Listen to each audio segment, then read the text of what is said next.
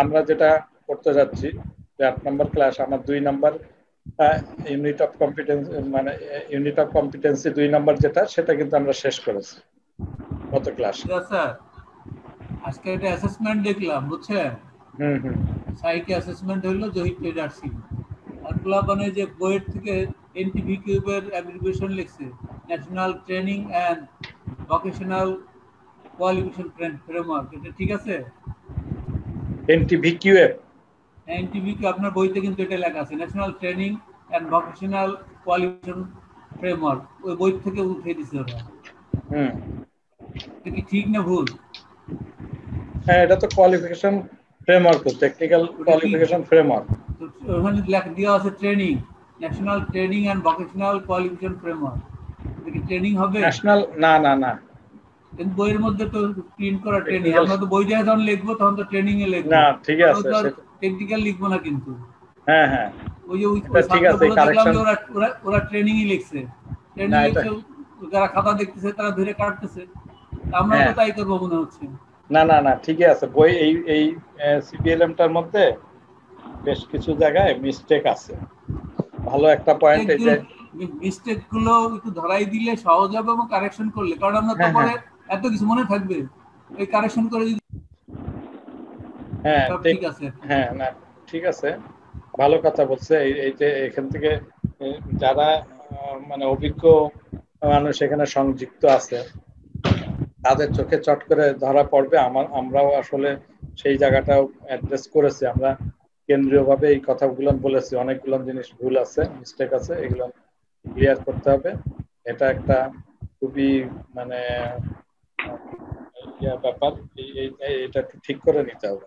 হ্যাঁ? Technical education qualification framework হবে। Training এর কোয়ালিফিকেশন হয় না, কথাটা হবে টেকনিক্যাল এডুকেশন কোয়ালিফিকেশন ফ্রেমওয়ার্ক এটা একটু সবাই কারেকশন করে নিতে হবে। এনটিপিকিউ ফুল মিনিংটা কি? অনেক জায়গায় আছে। আসলে qualification framework general Bangladesh qualification framework একটা ফ্রেমওয়ার্ক হচ্ছে, যেটা এখনও ফাইনাল স্টেজেই আছে। এটা সব জেনারেল এডুকেশনকে নিয়ে একটা ফাইনালাইজ করতেছে। আর technical education qualification framework national জাতীয়ভাবে যেটা হচ্ছে হ্যাঁ এনটিপিকিউ বলা হচ্ছে হ্যাঁ যেটা মান্নান সাহেব বলেছেন যদি ওই জায়গায় ওরকম কোনো কিছু লেখা থাকে, আসলে ট্রেনিং শব্দটা হবে না, ওই জায়গাটায় technical education framework national technical education framework ছয়টা লেভেল সেখানে আছে।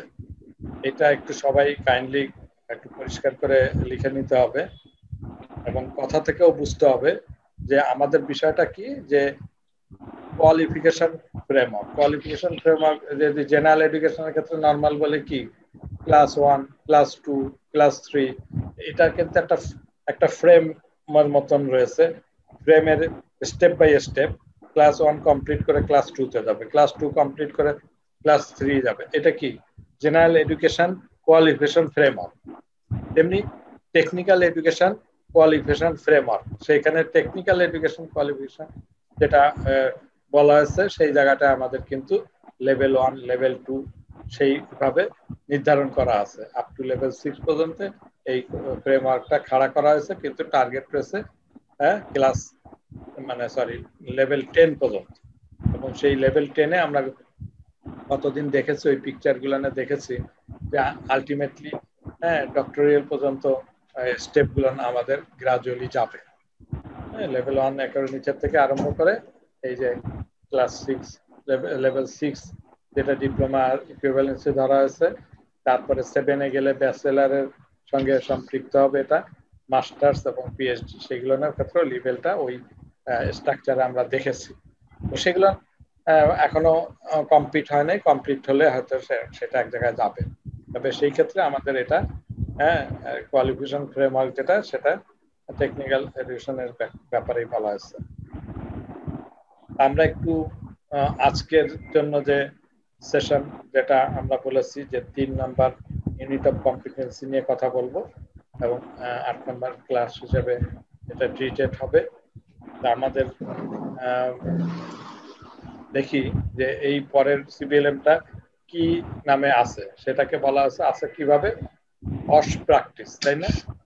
নাম আছে কি? Apply OHS practice in CBT and a environment ঠিক আছে? সব কিন্তু সবাই দেখতে পাচ্ছেন না? দেখা যাচ্ছে তো নিশ্চয়ই, তাই না?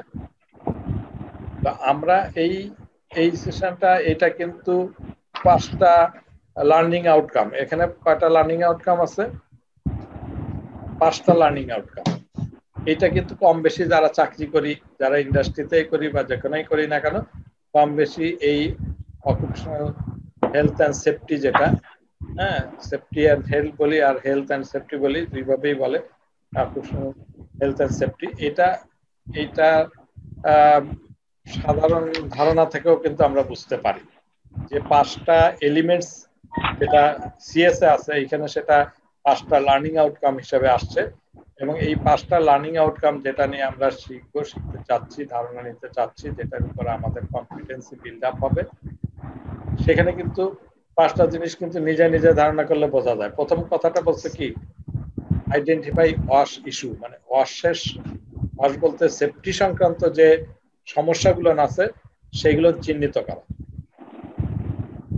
যে কোনো কর্মক্ষেত্রে রিলেটেড ওয়ার্কিং এনভায়রনমেন্ট যে কোনো কর্মক্ষেত্রেই কিছু না কিছু রিস্ক থাকে। সবসময় বলা আছে যে সেফটি ফার্স্ট যে কোনো কাজের ক্ষেত্রে বলা আছে সেফটি ফার্স্ট তাহলে কি হচ্ছে? সেফটি ফার্স্ট বলতে তাহলে আমাকে সমস্যা আছে কি না? তাহলে সেটা আইডেন্টিফাই করা লাগতে পারে। আমি যে এনভায়রনমেন্টে যে এলাকায় কাজ করব সেই জায়গায় আমাকে কিন্তু খুঁজে দেখা দরকার যে ওই জায়গাটায় আমার কোনো রকমের দুর্ঘটনা ঘটার কোনো ধরনের মানে স্বাস্থ্যের ক্ষতি ক্ষতি হওয়া এরকম কোনো বিষয় আছে কিনা হুম, সেটাকে আইডেন্টিফাই করতে হয়। কীভাবে আইডেন্টিফাই করব? সেই বিষয়টা আমরা জানব। প্রথম একটা বিষয় হলো এটা। বোঝা গেছে প্রথম লার্নিং আউটকামটা ক্লিয়ার যে identify OHS issues in relating to work in environment তাহলে কীভাবে আইডেন্টিফাই করব?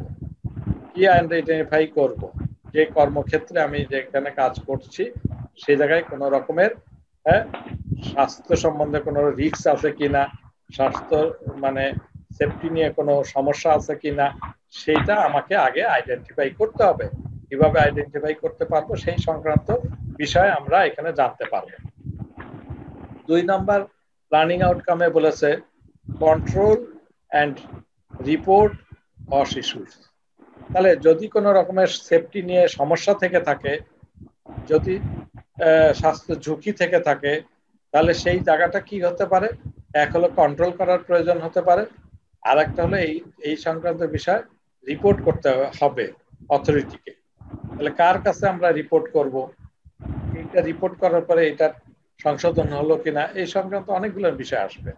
তাহলে সুযোগ থাকলে সেই জায়গায় যাতে দুর্ঘটনা না ঘটে, সেই ব্যাপারে কন্ট্রোল করার ব্যাপারে চিন্তা ভাবনা থাকতে হবে। এবং এইখানে বাই দিস টাইম কিন্তু রিপোর্টও করতে হবে। কীভাবে রিপোর্ট করে, করতে হবে অশিশু, সেই সংক্রান্ত বিষয়টা আমরা জানতে পারব। তিন নম্বর কথা বলেছে কন্ডাক্ট ওয়ার্ক সেফলি আমি যেখানে কাজ করব, সেই জায়গাটায় জানি সেফলি কাজ করা যায়। কীভাবে সেফলি কাজ করা যায় সেই ব্যাপারটা নিয়ে ডিসকাস করা হবে। চার নম্বরে বলেছে, ফলো এমার্জেন্সি রেসপন্স প্রসিডিওর যদি আল্লাহ না করে কোনো ধরনের কোনো সমস্যা বা দুর্ঘটনা ঘটেই যায়, তাহলে এমার্জেন্সি রেসপন্স কি হবে, কীভাবে করা উচিত, তার প্রসিডিওর সম্বন্ধে আমরা জানতে পারব। আর পাঁচ নম্বরে বলছে maintain and improve health and safety in wash practice sorry work workplace মানে কর্মক্ষেত্রে যাতে সেফটিকে আরও ইমপ্রুভ করা যায়, কীভাবে এটা মেনটেন করলে এই মানে স্বাস্থ্য ঝুঁকিটা প্রতিহত করার ব্যাপারে অনেক ইমপ্রুভ অ্যাক্টিভ অ্যাক্টিভিটিস আমরা দেখাতে পারব, সেটা জানব। তাহলে এটা কিন্তু পাঁচটা জিনিসই কিন্তু ক্লিয়ার হয়ে গেল। তাহলে আমাকে আগে আইডেন্টিফাই করতে হবে দেন এটাকে কন্ট্রোল করতে হবে ইস্যুগুলোর বিষয়ে রিপোর্ট করতে হবে। তারপরে কর্মক্ষেত্রে সেইটা আমরা কীভাবে সেফলি কাজ করা যায়, তার জন্য কীরকম পিপি পরিধান করা বা অন্য কিছু ব্যাপার নিয়ে আমি কাজ করলে আমি কোনো ঝুঁকির মধ্যে পড়ব না। সেই বিষয়টা, তারপরে যদি কোনো রকমের ঝুঁকি তৈরি হয়ে যায়, তাহলে এমার্জেন্সি রেসপন্স কি হবে সেটা সম্বন্ধে জানব। ফাইনালি আমি কীভাবে এই বিষয়গুলোকে মেনটেন করে ইমপ্রুভমেন্টে আনতে পারব আমার সেফটি বিষয়গুলো। এই হলো পাঁচটা বিষয়। বিষয়গুলো কি ক্লিয়ার হয়েছে সবার কাছে? সবাই কি বুঝতে পেরেছি? বুঝি নাই এরকম কেউ কি আছে? বুঝি নাই কেউ এরকম একটু কাইন্ডলি রেসপন্স করতে হবে। যদি কেউ না বুঝে থাকি তাহলে একটু হ্যাঁ। আর এই যে তিন নাম্বার আর চার নাম্বার যেটা যেমন কন্ডাক্ট ওয়ার্ক একটা ফলো ইমার্জেন্সি রেসপন্স দুইটা কি একই জিনিস হলো না নাকি? না কন্ডাক্ট ওয়ার্ক সেফলি মানে আমি যখন কাজ করব তখন আমার সিকিউরিটি নিয়ে আমাকে কাজ করব। আমি যে এই- এই যে এইখানে যে আহ, আমরা দেখেছি যে মেট্রোপলিটনে দেখি কাজ করছে তাহলে কি হচ্ছে সে তার একটা মাথায় হেলমেট থাকে ড্রেস থাকে যেভাবে পায়ে বুট থাকে এগুলো পরে হাতে- গ্লোভস থাকে এরকম পড়া রয়েছে না? তাহলে এই এইটা এইখানে কেন করেছে? ওই যে এখানে পথে চলতে যদি কোনো রকম নিজের সেফ নিজের সেফটির জন্য। কোন রকম যদি আলপিন বের হয়ে থাকে তাহলে পায়ে ফুটতে পারে। এই জন্য কিন্তু সবসময় কিন্তু একটা বুট পরা থাকে পায়ে। খেয়াল করে দেখো। হ্যাঁ, হ্যাঁ। রাস্তায় যায় তখন হেলমেট পরা থাকে। আমরা কিন্তু সচরাচর এমনি অন্যান্য কোনো কাজে দেখি না কিন্তু এই বড় বড় কাজগুলো কিন্তু সবসময় দেখি। এই যে কিছু এত কিছু নেওয়ার পরেও কিন্তু সমস্যা তৈরি হয়েছে হয় নাই? ওই যে কয়েকদিন আগে বিআরটি যে রোড সেইখানে কি হয়েছে? যে ভেঙে পড়ছে আহ, মান্নান ভাই ভালো বলতে পারবেন। যে তারা বলতেছে যে জিনিসটা শাটারিংটা প্রপারলি না হলে মানে একটু যদি ডিসপ্লেস হয়ে যায় ওই যে সেন্টারিং করার ক্ষেত্রে এই যেসব পিলারগুলো লাগায় লাগানোর পরে না ঢালাই দিতে হবে। তো ঢালাই দেওয়ার আগে যদি যেসব লাগাইছে পিলার, এগুলো যদি খুব মজবুত না থাকে, একটা যদি এদিক দিয়ে সরে যায় ডিসপ্লেস হয়ে যায় টোটাল জিনিসটা কিন্তু ভেঙে পড়ে। তখন মানুষ মনে করতে পারে যে কি জানি রড, সিমেন্ট মানে কম দিচ্ছে কিনা। তা এখন এই যে, এই জায়গাটায় যদি সে ভেঙে পড়ার পরে কি হয়েছে? ছয় জন ইনজুর্ড হয়েছে। এই যে ইনজুর্ড হলে তাহলে কি করছে? শেষ পর্যন্ত তাকে এমার্জেন্সি কোথাও হসপিটালে ট্রান্সফার করছে, কারও ফার্স্ট এড দিয়ে ছেড়ে দিচ্ছে তাহলে এই যে কাজটা এমার্জেন্সি রেসপন্স কি হবে? কি হবে? সেটা হবে চার নাম্বার। তাহলে কাজ করার সময় নিজের সেফটি নিয়ে চলতে হবে। তাহলে দুর্ঘটনা ঘটলেও কম ক্ষতি হয়। সব ব্যবস্থা থাকতে হবে। হ্যাঁ। আচ্ছা। এরপরে আর কে আর কারও কোনো বক্তব্য আছে নাকি? স্যার মুফাজ্জল বলছিলাম স্যার। এক নম্বর পয়েন্ট আরেকবার বলবেন স্যার। এক নম্বর বলতেছে আমি যে জায়গায় কাজ করি বা করব সে জায়গায় আমার কোনো দুর্ঘটনা ঘটার সমস্যা আছে কিনা, যা আমার স্বাস্থ্য স্বাস্থ্য রিস্ক হতে পারে, হুম? মৃত্যুর ঝুঁকি হতে পারে, ইনস্ট্রুমেন্ট নষ্ট হয়ে যেতে পারে, সেরকম কোনো বিষয় থাকলে সেটা আমাকে আইডেন্টিফাই করতে হবে। কীভাবে আমি আইডেন্টিফাই করব? আইডেন্টিফাই করাটা দরকার, নাহলে আমি কীভাবে নিজেকে প্রোটেক্ট করব? কি করে এনভায়রনমেন্টকে প্রোটেক্ট করব? আমার তো আইডেন্টিফাই করতে হবে যে না, এই জায়গায় যাচ্ছি, আমার এখানে কিন্তু মৃত্যু ঝুঁকি আছে কিনা? দেখতে হবে। সব এক এক ধরনের কাজের জন্য এক এক রকমের ঝুঁকি থাকে। তাহলে যেসব ধরনের ঝুঁকি সেই ঝুঁকিটাকে আমাকে আইডেন্টিফাই করতে হবে প্রথমে। ঠিক আছে? জি কি বোঝা গেছে আমার কথা? স্যার বুঝতে পারছি স্যার। আমরা আরও ডিটেলিং এ যাব। এটা তো মূল point flow flow emergency response প্রসিডিউরগুলো কি কি? এটা আমরা ওই পয়েন্টে যাচ্ছি। গেলে সবগুলো জানব এখানে কি কি। হুম? তাহলে এমনি সব কি ধারাবাহিকভাবে লার্নিং আউটকামগুলো কি সেটা কি আমরা বুঝতে পেরেছি কিনা? আচ্ছা। এটা নিয়ে যদি কারও কোনো প্রশ্ন না থাকে তাহলে আমরা একটু সামনে আগাই দেখতে পারি যে দেখি এক নম্বরে লার্নিং আউটকামের ডিটেলস কি বলেছে দুই নম্বর কারণ এই পাঁচটা বিষয় পুরা পুরাপুরি এখানে আমাদের আলোচনা আছে এবং আলোচনা করব। আমরা যদি গ্রাজুয়ালি যাব, দেখি কতটুকু যেতে পারি। ঠিক আছে? আমাদের সময়ের মধ্যে, নির্ধারিত সময়ের মধ্যে।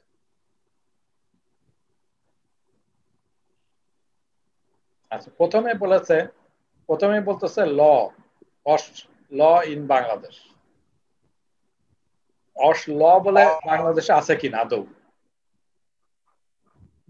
এখানে সেই কথা বলতে যে দেখা দেখা গেছে, এইটা তেরো নম্বর পেজ তেরো নম্বর পেজে ঠিক এইভাবে হয়তো নাও থাকতে পারে বাট একটা সংজ্ঞার মতন দেওয়ার চেষ্টা করেছে বাট সংজ্ঞা না সেটা। সিবিএলএম আমি একটু ভিন্নভাবে দেওয়ার চেষ্টা করেছি, যেটুকু আছে, যেখানে আছে বক্তব্য, সেই রকম জায়গা থেকে নিয়ে এসে দিয়েছি। ওটা এই তো সিবিএলএমটার মধ্যে নাই বাইরে থেকে দেওয়া আছে। তাই এখানে বলেছে occupational health and safety has been discussed a lot in the context of major accident held in Bangladesh RMG industry in 2013 2013 সালে যে হিসাবটা দেখা যায়, এখানে আরএমজি সেক্টরেই সবচেয়ে বেশি এই ধরনের মানে দুর্ঘটনা বা মেজর অ্যাক্সিডেন্ট ঘটেছে। আসলে আরএমজি রেডিমেড গার্মেন্টস আমরা কিন্তু প্রায়শই দেখি গার্মেন্টসে অগ্নিকাণ্ড হয়েছে। হুম, এটা কোথার থেকে হচ্ছে প্রকৃত অর্থে আমরা বেশিরভাগই জানি ইলেকট্রিক এই ইলেকট্রিক ইলেকট্রিসিটি সংযোগ থেকেই এসে থাকে। কারণ ওদের কিন্তু স্পেশাল হাউস ওয়ারিং হয়ে থাকে। মানে ওই ঘরগুলোনে হ্যাঁ সাধারণত কিন্তু এই যে বক্স হ্যাঁ ওয়ারিং করে থাকে এবং লুজ তারই থাকে অনেকটা। কারণ মেশিনের সঙ্গে কানেকশন দিয়ে থাকে। বিভিন্ন কারণে হ্যাঁ এই এই এই জায়গার থেকে শর্ট সার্কিট হয়ে অথবা এই ধরনের কর্ম মানে এই ধরনের বিভিন্ন সমস্যা থেকে এই অ্যাক্সিডেন্টগুলো ঘটে থাকে। ফলে আর এমজিতে সবচেয়ে বেশি অ্যাক্সিডেন্ট আমরা পেয়েছি। সে কথাটা তারা মেনশন করেছে। Most of the time OHS has been suggested as SCR contribution. Uh, however, it is widely understood that OSH interventions have certain business case. Business cases are the motivation, but the laws are required. তাহলে এই business কেসের কিছু loss লর মাধ্যমে এটাকে motivation করতে হবে সেটার কথা বলেছে দ্য বাংলাদেশ লেবার ল 2016 যেটা অ্যামেন্ডমেন্ট করেছে 2013 has certain or uh, provision which are legal requirement for Bangladesh industries to comply.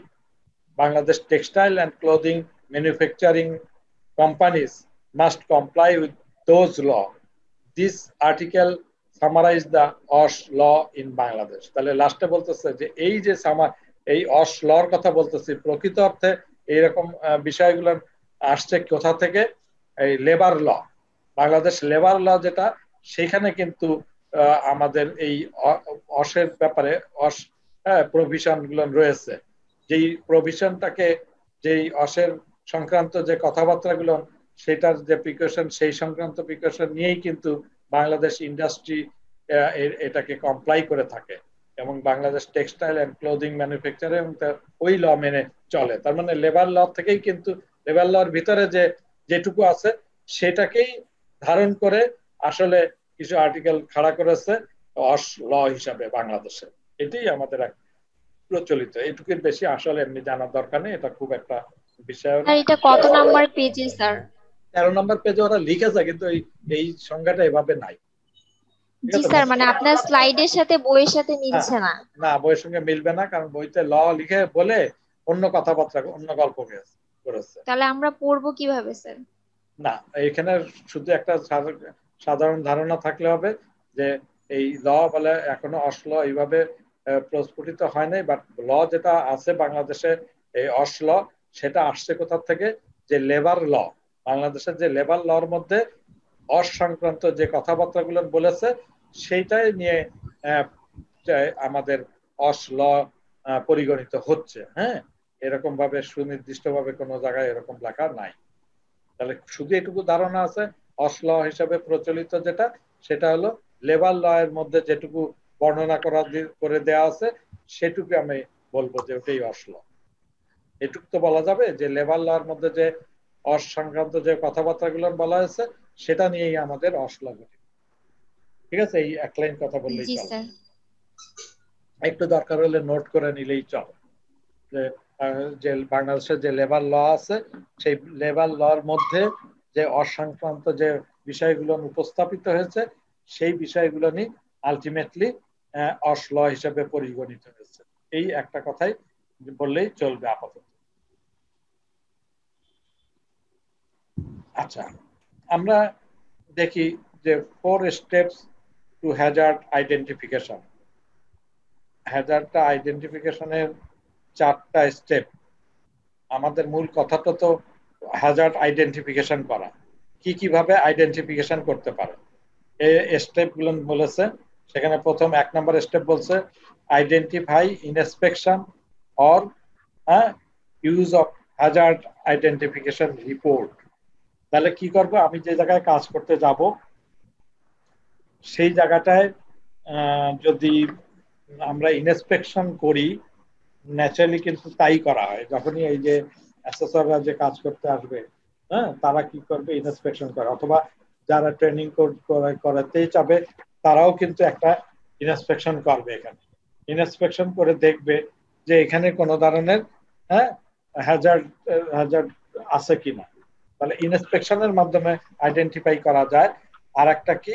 Hazard identification report বিগত সময়ে এখানে যারা কাজ করেছে, তারা যদি কোনো রিপোর্ট দিয়ে থাকে সেই রিপোর্ট থেকে আমরা জানতে পারব যে এইখানে কোনো ধরনের হ্যাজার্ড আছে কিনা। তাহলে এই একটা ব্যাপার গেল। ইনস্পেকশনের মধ্যে জানতে পারি অথবা হ্যাজার্ড আইডেন্টিফিকেশন রিপোর্ট থেকে আমরা জানতে পারব। দুই নম্বর কথা বলেছে অ্যাসেসেস বাই ইউজ অফ রিক্স অ্যাসেসমেন্ট ম্যাট্রিক্স আমার যদি ওই প্রতিষ্ঠানে কোনো রিক্স অ্যাসেসমেন্ট ম্যাট্রিক্স থাকে, অর্থাৎ যতগুলো কাজ হবে, আমরা একটা অ্যাসেসমেন্ট ম্যাট্রিক্স দেখাবো। ওই রিস্ক অ্যাসেসমেন্ট ম্যাট্রিক্স বলে একটা ম্যাট্রিক্স আছে, যেখানে একের থেকে ছয় নাম্বারিং করা আছে, যেখানে রেড মার্কিং করা আছে এবং গ্রিন মার্কিং গ্রাজুয়ালি করা আছে। অর্থাৎ সর্বোচ্চ মানে সবচেয়ে বেশি রিস্কি জায়গাটা হলো সেখানে রেড মার্কিং করা থাকে। রেড কালারের পেপার দিয়ে সেখানে ব্লক করে থাকে থাকে। ছয় নাম্বার সেই নাম্বারিং করা থাকে, ছয়। এবং সেটাই হলো সর্বোচ্চ রিক্স এবং এক নাম্বার হলো সবচেয়ে কম, এই রিক্স ম্যাট্রিক্স বলে রিক্স অ্যাসেসমেন্ট ম্যাট্রিক্স বলে একটা ম্যাট্রিক্স আছে, সেই ম্যাট্রিক্সটা আমরা দেখব, সেখান থেকেও আমরা অ্যাসেস করতে পারি যে আমাদের এই অংশে যে কাজ করছি, সেখানে কতটুকু রিক্স আছে, এটা আইডেন্টিফাই করা যেতে পারে ওই ম্যাট্রিক্স থেকে। এলিমিনেট অর কন্ট্রোল কমপ্লিট রিক্স অ্যাসেসমেন্ট সামারি রিপোর্ট আমার যে আগে হ্যাজার্ড আইডেন্টিফিকেশন কেন করলাম হ্যাজার্ড কি জিনিস তাই জানি না। কেন করতে হবে হ্যাঁ হ্যাজার্ডের সংজ্ঞাটা আছে আপনি ঠিকই বলেছেন সেটা আমরা সেই সংজ্ঞাটা না জানি আইডেন্টিফিকেশন কি করবে? আচ্ছা ঠিক আছে আমরা এই সংজ্ঞাটা একটু আসতেছি। অবশ্যই আপনি ঠিক কথা বলেছেন হ্যাজার্ডের সংজ্ঞাটা দিতে পারা যেত। এখন সিকোয়েন্সিয়ালি ইনফ্যাক্ট হয়েছে কি এইটা নতুন সিবিএলএম হয়েছে। পুরানো যে আগের যে সিবিএলএমটা ছিল আমার কাছে মনে হচ্ছে সেই সিবিএলএমটা বিশেষ করে এই হ্যাজার্ডের ব্যাপারে অনেক সিনকোনাইজড ছিল। এবং আমাদেরকে ওই উচিত আপনার কথা অনুযায়ী যে হ্যাজার্ড কি জিনিস সেটা বলা। আমরা ঠিক আছে। স্যার এবং রিক্স রিক্স অ্যাসেসমেন্টে ম্যাট্রিক্স আছে স্যার সেটাও আমাদেরকে জানার দরকার। হ্যাঁ হ্যাঁ এটা আমরা জানাব আমি বলেছি যে জানাব বাট কীভাবে আইডেন্টিফাই করতে হয় সেই কথাটা বলেছি এবং এর সবগুলো পয়েন্টের ব্যাখ্যা পরে আছে। সুতরাং অবশ্যই আমরা জানব ইনশাল্লাহ তো আমরা পরের স্টেপের কথা বলেছে এলিমিনেট আর control complex risk assessment summary report আমার যে আমার এর আগে যদি কোনো রিপোর্ট থেকে থাকে সামারি রিপোর্ট রিস্ক অ্যাসেসমেন্টের সামারি রিপোর্ট থাকলে সেখান থেকে আমরা এলিমিনেটর কন্ট্রোল করার ব্যাপারে কি বলা আছে সেইটা দেখেও আমরা জানতে পারব। Review complete risk assessment summary report এবং সেটা রিভিউ করতে হবে। রিভিউ করে আমরা আরও ক্লিয়ারলি জানব। আমার এটা বেশি ইম্পর্টেন্ট না আমি আমি পরের পেজে যাচ্ছি ইম্পর্টেন্ট জায়গায় আমি আর একটু ক্লিয়ার করব। আর ওই পয়েন্টগুলো ভালো কথা আসছে যে রিক্স কি হ্যাজার্ড কি রিক্স ম্যাট্রিক্স কি এটা নিশ্চয়ই আমাদের জানা দরকার আমরা জানব ইনশাল্লাহ মোস্ট কমন সেফটি গ্রুপ চোদ্দ নম্বর পেজে আছে। আমরা যদি দেখি চোদ্দ নম্বর পেজে সেখানে মোস্ট সেফটি কমন গ্রুপ কারা কারা? কোন গ্রুপ কাকে কাদেরকে আমরা এই গ্রুপের মধ্যে ফেলছি? সেখানে বলা আছে হেলথ অ্যান্ড সেফটি রিপ্রেজেন্টেটিভ তাহলে কোন কোন প্রতিষ্ঠানে এই রকম নামে এই হেলথ অ্যান্ড সেফটি রিপ্রেজেন্টেটিভ থাকে। তাহলে সেটা হতে পারে। কোন কোন জায়গায় শুধু সুপারভাইজার থাকে সুপারভাইজারের কাজ থাকে, এইভাবে সেফটি দেওয়ার ব্যাপারটা তার দায়িত্বের উপরে থাকে। কোন জায়গায় সুনির্দিষ্ট করে অস অফিসার নামেও আছে। কোন জায়গায় হেলথ অ্যান্ড সেফটি কমিটি আছে। তাহলে যে ফরম্যাটেই থাকুক না কেন, একাধিক ফরম্যাটেও থাকতে পারে সিঙ্গেল একজনও থাকতে পারে আবার এর এর কোনোটাও নাও থাকতে পারে বিভিন্ন ছোটখাটো প্রতিষ্ঠানে। সাধারণত স্ট্যান্ডার্ড প্রতিষ্ঠান, বড় প্রতিষ্ঠানে এরকম একাধিক গ্রুপ থাকে বা সুপারভাইজার অথবা অফিসার থাকে। তাদের দায়িত্ব হলো মানে তারা আর কি সেফটি গ্রুপ হিসেবে পরিগণিত হয়। যদি প্রশ্ন আসে মোস্ট কমন সেফটি গ্রুপ তাহলে নাম চারটা দিতে পারব এবং চোদ্দ নম্বর পেজের থেকে এটা দেখে নিতে পারব। ডিউটিজ অফ অস অফিসার অস অফিসারের কাজটা কি? অস অফিসার কাজ হচ্ছে organize OHS training investigate accident provide first aid undertake risk assessment at the workplace তাহলে কি আছে সে তার দায়িত্ব হচ্ছে অর্গানাইজ করা ট্রেনিং তার মানে কি? সবাইকে তাহলে ট্রেনিং গ্রহণ করতে হবে। কি ট্রেনিং নেব? সেটা কিন্তু আমরা জানিই না। কয় ধরনের ট্রেনিং আছে। একটা জেনারেল ট্রেনিং আছে একটা স্পেসিফিক ট্রেনিং আছে। আমি এই ট্রেনিংটা নিয়ে একটু পরে কথা বলছি আগে ডিউটির কথা যেহেতু বলে যাচ্ছে আমি পরে এই ট্রেনিংটা এখানেও প্রশ্ন একইভাবে আসবে যে এইটাও গ্যাপ আছে। যে আপনি ট্রেনিং এর কথা বলেন তাহলে কি কি ট্রেনিং আসতে পারে? আমরা সেটা দেখব আমি আমি স্পেশালি এটা বলব যদি এই সিবিএলএম এর মধ্যে ট্রেনিং ট্রেনিং যেহেতু বলতেছি কি অর্গানাইজ করব? ট্রেনিং জিনিসটা কি? হ্যাঁ। এই জিনিস তো থাকতে। গেলেই নাই বেটার থাকতো অর্গানাইজ পয়সা ট্রেনিং বলে সাইডে দিলাম এটা কি হলো? না সেটা তো আমি আপনাকে আগেও বলেছি যে কি কি ট্রেনিং হয় না হয় আমি আগের সিবিএলএমটার মধ্যে একটু ধারাবাহিকভাবে ছিল কিন্তু আমরা যেহেতু নতুন সিবিএলএম পরীক্ষায় আসে সুতরাং আমি নতুন সিবিএলএম অনুযায়ী এই পেজ বাই পেজ আমি যাচ্ছি। তা আমরা সেই ধারাবাহিকতা যাচ্ছে। আমার মনে হয় আপনার কথা অনুযায়ী যদি একটু উল্টায় সাজায় নিতাম তাহলে বেশি ভালো হতো। কিন্তু তখন আবার আমি ওই বইয়ের পেজ অনুযায়ী আপনাকে ফলো করতে দিতে পারতাম না, সেই জন্য সে সমস্যা হতো। ঠিক আছে, প্রশ্ন অ্যারাইজ করেছেন ইনশাল্লাহ এটারও আমি সলিউশন আপনাকে দিব। কি ট্রেনিং কীভাবে করবে, তার সম্বন্ধে কিছু বক্তব্য আমি দিব। ইনভেস্টিগেট অ্যাক্সিডেন্ট তাহলে কোনো অ্যাক্সিডেন্ট যদি ঘটে, তাহলে সেই অ্যাক্সিডেন্টে ইনভেস্টিগেট করার দায়িত্ব হলো এই অস অফিসারের। প্রোভাইড ফার্স্ট এইড এখন এইখানেও দেখেন যে এই মানে অস অফিসারের কিন্তু যেসব জায়গায় ফার্স্ট এইড বক্স মানে ফার্স্ট এইড করা দরকার আছে অ্যাক্সিডেন্ট হলে সেই কাজটাও দেখার দায়িত্ব অস অফিসারের undertake risk management at the workplace হ্যাঁ ওয়ার্ক প্লেসে আমাদের রিস্ক মানে রিস্ক অ্যাসেসমেন্টটা হ্যাঁ দেখা দরকার। বা সে সে ওই, যে এইগুলো রিস্ক ম্যানেজমেন্টগুলোকে সে কেয়ার করবে, দেখবে। আচ্ছা অসের স্ট্যান্ডার্ড কি? যদি বলে অস স্ট্যান্ডার্ড তাহলে অস স্ট্যান্ডার্ডের মধ্যে ওই একই কথা আবার আসছে identify the hazard clear the area close to hazard তার মানে যেখানে হ্যাজার্ডের বিষয় থাকবে সেই যদি হ্যাজার্ড ঘটে থাকে, তাহলে সেই হ্যাজার্ডটা আইডেন্টিফাই করবে হ্যাজার্ডের চারপাশে যে সারাউন্ডিং এরিয়াটাকে ক্লিয়ার করবে ক্লোজ করে দিবে টেপ দ্বারা আটকায় দিবে partition the hazard area and protect all of them মানে তাদেরকে এই টেপ দিয়ে আটকায় রেখে আমরা দেখেছি, এখন বাইরেও যেরকম দেখেছে, এখন আমাদের দেশে এরকম দেখা যাচ্ছে যে পুলিশ কর্মকর্তা, আমরা রোড অ্যাক্সিডেন্টের কথা যদি বলি রোড অ্যাক্সিডেন্টে সেখানে যে জায়গায় ঘটে, সেই জায়গাতে বড় করে সার্কেল দিয়ে থাকে বা আগুন যদি ধরে কোথাও অথবা কোনো বিল্ডিং ভেঙে পড়ে, দেখা যাচ্ছে তার টেপ দিয়ে চারপাশটা ব্লক করে দেন যাতে ওখানে প্রোটেক্টেড হয়, মানুষ জানে সেখানে না ঢোকে।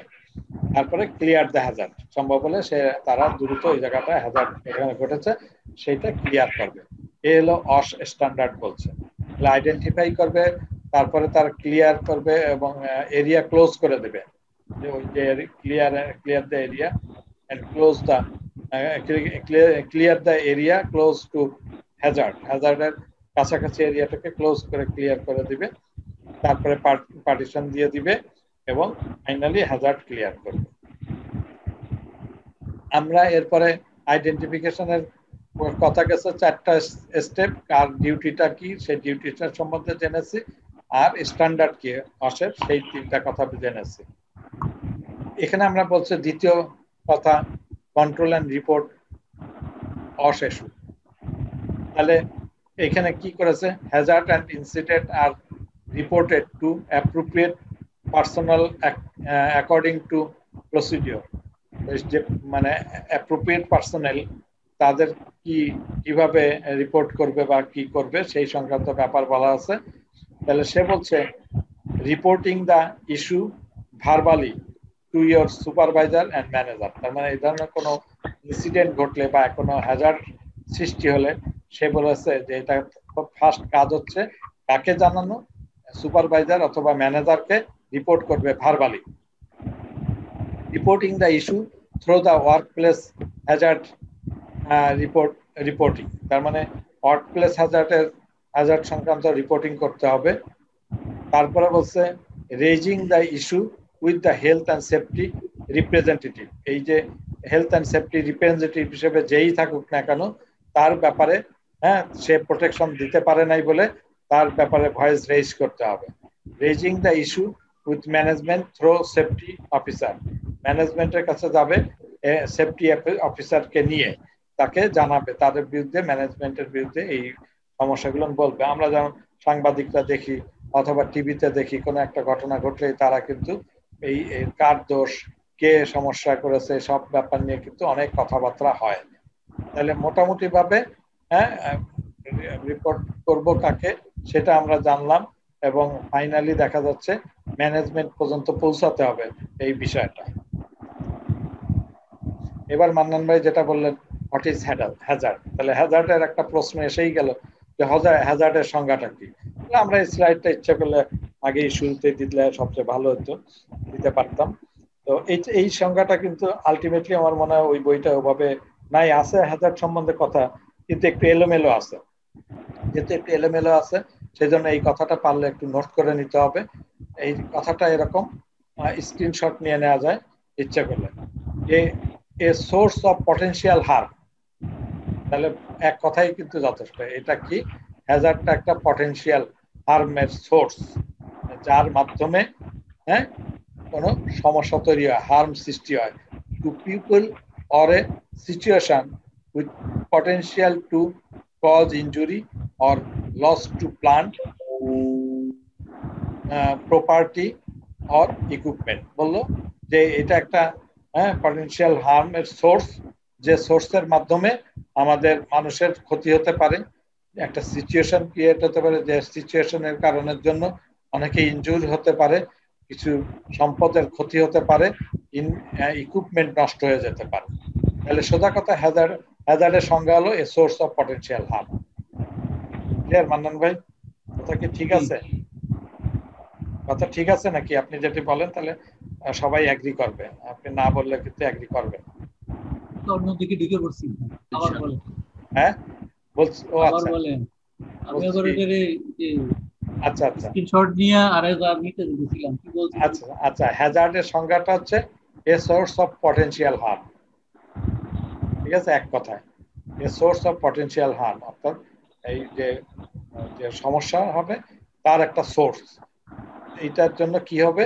মানুষের ক্ষতি হতে পারে একটা সিচুয়েশন ক্রিয়েট হতে পারে যার জন্য অনেকে দুর্ঘটনার কবলিত হতে পারে এখানে কোনো স্থানের মানে প্রপার্টির ক্ষতি হতে পারে ইকুইপমেন্টের ক্ষতি হতে পারে। হ্যাঁ ফারুক কথা কি ঠিক আছে? ঠিক আছে হ্যাঁ? ফারুক কথা ঠিক আছে? তাহলে আচ্ছা অন্যরা সবাই একটু কেউ কেউ একটু রেসপন্স করো তো এইটুকু কথা বুঝেছি কিনা? A source of potential harm এইটা কি বোঝা গেছে কথাটুকু? হ্যাঁ? জি স্যার। তাহলে এক কথা এটুকু বললে হবে সোর্স অফ পটেনশিয়াল হার্ম যার জন্য মানুষের ক্ষতি হতে পারে স্থানের ক্ষতি হতে পারে। এখানে পরবর্তীতে পয়েন্টে লিখেছি। Anything or anyone that can harm or cause ill health to a person যার কারণের জন্য কি হতে পারে? স্বাস্থ্যের ক্ষতি হতে পারে একজন পার্সনের তারপরে বলেছে anything or anyone that can damage property or the environment সে প্রপার্টিরও ক্ষতি হতে পারে এনভায়রনমেন্টের ক্ষতি হতে পারে। ফাইনালি বলেছি a combination of this things এই উপরে যে দুটা ব্যাপার অর্থাৎ সেটার কারণে মানুষের ক্ষতি হতে পারে প্রপার্টির ক্ষতি হতে পারে এনভায়রনমেন্টের ক্ষতি হতে পারে। ক্লিয়ার মান্নান ভাই হাজারের সংখ্যা। ক্লিয়ার হ্যাঁ ক্লিয়ার ওকে ফাইন এখন দেখি টাইপস অফ হ্যাজার্ড তাহলে এই সংজ্ঞাটা যেমন আসতে পারে টাইপস অফ হ্যাজার্ড এটাও আসতে পারে। আমাদের এখানে অনেক রকম ভাবে পাঁচটা, সাতটা একটা অনেক ভাবে টাইপস বলেছে। আমরা চারটা দিলেও আমাদের চলবে। এক এক জায়গায় এক এক ভাবে আছে, এক এক ভাবে পেতে পারি। আমরা চারটা হাজারের নাম যদি বলি, একটা বলেছে ফিজিক্যাল হাজার একটা বলছে বায়োলজিক্যাল হাজার একটা বলছে কেমিক্যাল হাজার একটা বলছে আর্গোনমিক হ্যাজার্ড বইতে ঠিক এইভাবে অনেক সময় সাধারণ নাও থাকতে পারে, এই জন্য আমি একটু পারলে একটু স্ক্রিনশট নিয়ে অথবা লিখে নিতে পারি আমার কাছে কাগজ কলম যাদের কাছে আছে এই এই সিপিএলএমটার মধ্যে এই ইউনিটের মধ্যে কেমন আমার কাছে সুন্দর ঠিক ঠিক গোছানো লাগে নাই এই নতুনটা পুরানোটা যথেষ্ট গোছানো ছিল তা আমি এই জন্য বলব যে এইভাবে প্রশ্ন সাধারণত আসলে এরকমই আসে টাইপস অফ হাজার তাহলে অন্তত এই চারটা লিখলে হবে যদি কেউ আরও বেশি কম বলে বলতে পারে আমরা চারটা বুঝি একটা হলো ফিজিক্যাল হ্যাজার্ড একটা বলছে বায়োলজিক্যাল হ্যাজার্ড স্যার স্যার যাদের কাছে পুরাতন সিবিএলএমটা আছে তারা কি হ্যাজার্ডটা ওখান থেকে পড়তে পারবে? মানে কেন পারবে না? পড়ার ক্ষেত্রে তো যে কেউ যে কোনোটা দিয়ে পড়তে পারে। এটা কোনো কোনো অব্লিগেশন নাই কোনো বার নাই। হ্যাঁ? স্যার এই আনসারটা যদি আমরা পুরাতন বই থেকে দেই তাহলে কোনো সমস্যা নাই। না কি সমস্যা? টাইপ তো পুরানো বই দেই কেন আর যেখান দিয়ে দেই? টাইপ টাইপ বলতে তো এরকমই পাঁচটা সাতটা পাই টাইপের বিভিন্ন যেমন নেটে সার্চ দিলেও পেয়ে যাবে। যে টাইপ অফ হ্যাজার্ড দেখা যাবে হয়তো চারটা পাঁচটা এরকম বলতেছে ছয়টা। আমি চারটা লিখেছি সমস্যা নাই। বললে আমি এই যে এই বইতেও আছে। চারটা দিলেই হবে। ঠিক আছে কেউ কিছু বলছে? নাহলে আমি আগাবো সামনে। আচ্ছা তাহলে আমি সেটা আসছি। হ্যাঁ ঠিক আছে। আমি আর্গোনমিক হ্যাজার্ডটা কি? আচ্ছা সেটা আমি আপনাকে বলছি। আর্গোনমিক হ্যাজার্ডটা খুব সুন্দর করে আপনাকে ক্লিয়ার করে দিচ্ছি ডিটেলস ডিটেইলিং এ আমি এবার আসি ফিজিক্যাল হ্যাজার্ডের কিছু এক্সাম্পল তো এক্সাম্পলের মধ্যে physical hazard floor slippy surface straight stair case stair steps হ্যাঁ ল্যাডার তাহলে এই যেমন একটা যেমন মেঝে মেঝেটার কথা বলছি। কথা বলছে যে মেঝেতে যদি একটা লিকুইড পড়ে থাকে হ্যাঁ সাবানের ফেনা পড়ে রয়েছে তাহলে এখান থেকে ভয় থাকে। তাহলে এই যে স্লিপ খেয়ে যদি পড়ে কেউ ইনজুর্ড হয় তাহলে কিন্তু বা ফ্লোরের মধ্যে একটা গর্ত থাকল সে গর্তের মধ্যে খোসা খেয়ে পড়ে গেল হম কোন বার থাকল তাহলে সেটা একটা ফিজিক্যাল হ্যাজার্ড তাহলে এখানে মই আছে মইয়ের মই ভেঙে পড়ে গেল সেটা তাহলে দুর্ঘটনা করতে পারে এগুলো ফিজিক্যাল হ্যাজার্ড ফায়ারটা কি? আগুন? আগুনও কিন্তু ফিজিক্যাল হ্যাজার্ড হ্যাঁ ফলিং অবজেক্ট নিচে পড়ে আছে, তার কাটা পড়ে আছে, এটা এটা পায়ে ফুটলে হ্যাঁ ইনজুর্ড হবে। তাহলে সেটাও কিন্তু একটা ইয়া হতে পারে ফিজিক্যাল হ্যাজার্ড তারপরে ম্যানুয়াল হ্যান্ডেলিং লাইটিং হ্যাঁ পুশিং পুলিং মানে কোনো জায়গায় ধাক্কা দিচ্ছি লিফটিং লিফট কোনো জায়গায় উপরে উঠাইতেছি, অথবা পুলিং হ্যাঁ ধাক্কা দিচ্ছি তাহলে এই এর মধ্যে এই যে ম্যানুয়াল ম্যানুয়াল হ্যান্ডেলিং করতেছি যেসব জিনিস হ্যাঁ কোনো জিনিস বাড়ি একটা জিনিস টেনে উপরে উঠাইতেছি সেটা সেটার কারণে কোনো দুর্ঘটনা ঘটতে পারে হ্যাঁ পুশিং এর কারণে পুলিং এর কারণে। এরপরে যেটা হচ্ছে নয়েস কোন শব্দ হলো রাস্তায় যে গাড়ি যাচ্ছে রাস্তায় যে শব্দ হলো গাড়িতে তাহলে সেই সব শব্দের কারণের জন্য কিন্তু আমাদের সমস্যা হতে পারে। হ্যাঁ সেই সমস্যা যেটা সেটাও কিন্তু এক ধরনের ফিজিক্যাল হ্যাজার্ড ভাইব্রেশন হ্যাঁ চলতে যে অনেক গাড়ি স্পিডলি চললে সেখানে একটা ভাইব্রেশন সেই ভাইব্রেশনের কারণে যেন কোনো দুর্ঘটনা ঘটে, তাহলে সেটাকে আমরা বলব physical hazard poor lighting ventilation আর এয়ার কোয়ালিটি যদি আমি এই যে পড়াশোনা করতে যাই, যেখানে ভালো লাইট নাই ইনসাফিসিয়েন্ট লাইট এত চোখের ক্ষতি হতে পারে ভেন্টিলেশন নাই সাপোকেশন হতে পারে হ্যাঁ? তারপরে এয়ার কোয়ালিটি যদি ভালো না থাকে এয়ার পলিউটেড থাকে রাস্তাঘাটে, সেটার কারণে যদি কোনো ক্ষতি হয় মানুষের শরীরে, তাহলে সেইগুলো হলো ফিজিক্যাল হ্যাজার্ড নিশ্চয়ই বোঝা গেছে ফিজিক্যাল হ্যাজার্ড কি। এরপরে আসি আমরা কেমিক্যাল হ্যাজার্ড এখানে কিছু এক্সাম্পল দিয়েছে কেমিক্যাল সাবস্ট্যান্সেস এই যে সাইকেলে করে নিয়ে যাচ্ছে হ্যাঁ? কত রিস্কি জিনিস। তাহলে এই যে এখানে গ্যাস, এই গ্যাসের কারণের জন্য অসুবিধা, দুর্ঘটনা ঘটতে পারে, এটা, এটার কারণে মানুষ ক্ষতিগ্রস্ত হতে পারে। ডেঞ্জারাস গুডস তারপরে বলছে ক্লিনিং এজেন্ট পরিষ্কার করার জন্য যেসব জিনিস ব্যবহার করা হচ্ছে ডাস্ট এবং ফিউম হ্যাঁ? ধুলাবালি। তাহলে ধুলাবালি কি টাইপের হ্যাজার্ড জিজ্ঞাসা করলে প্রশ্ন আসলে তখন বলতে হবে কি? কেমিক্যাল হাজার ফিউম কি টাইপের হাজার বললে তখন বলব যে কেমিক্যাল হাজার অ্যাসিড আর পয়জনস এক্সপ্লোসিভ এগুলো কি টাইপের সব হলো chemical hazard biological hazard biological হ্যাজার্ডের example হচ্ছে রেডিয়েশন এই যে রাস্তাঘাটে আমরা যে, এই যে টাওয়ার দেখি হ্যাঁ? যে মোবাইল কোম্পানি যেসব টাওয়ার সেট করছে, যে টাওয়ার কারণের কারণের জন্য কিন্তু অনেক দেখেন নারিকেল গাছের নারিকেলগুলো নষ্ট হয়ে যাচ্ছে। সুপারি নষ্ট হয়ে যাচ্ছে, বহু আইটেম নষ্ট হয়েছে এবং মানুষ কিন্তু, বাচ্চা যারা আছে তাদেরও কিন্তু ক্ষতি হয়। অর্থাৎ এখান থেকে রেডিয়েট হয় কিন্তু হ্যাঁ রে রেডিয়েট হয়। এই টাওয়ারের থেকে বেশ কিছু রে রেডিয়েট হয়। যে রে- মানে রের কারণের জন্য, এই রেডিয়েশনের কারণের জন্য মানুষের ক্ষতি হতে পারে শরীরের। সেটাকে আমরা বলছি biological hazard microbiological hazard virus এই যে আমরা এখন যদি বলি করোনা ভাইরাস তাহলে করোনা ভাইরাস কি টাইপের হ্যাজার্ড এটা বায়োলজিক্যাল হ্যাজার্ড তারপরে ইনসেক্ট পোকামাকড়ের কামড় থেকে কিন্তু মানুষের বিভিন্ন রকমের সমস্যা তৈরি হয়। হ্যাঁ সেটাও আমাদের একটা বায়োলজিক্যাল হ্যাজার্ড হ্যাঁ ভার্মিন তারপরে এসব- টাওয়ারটা কি বায়োলজিক্যাল হ্যাজার্ড হবে?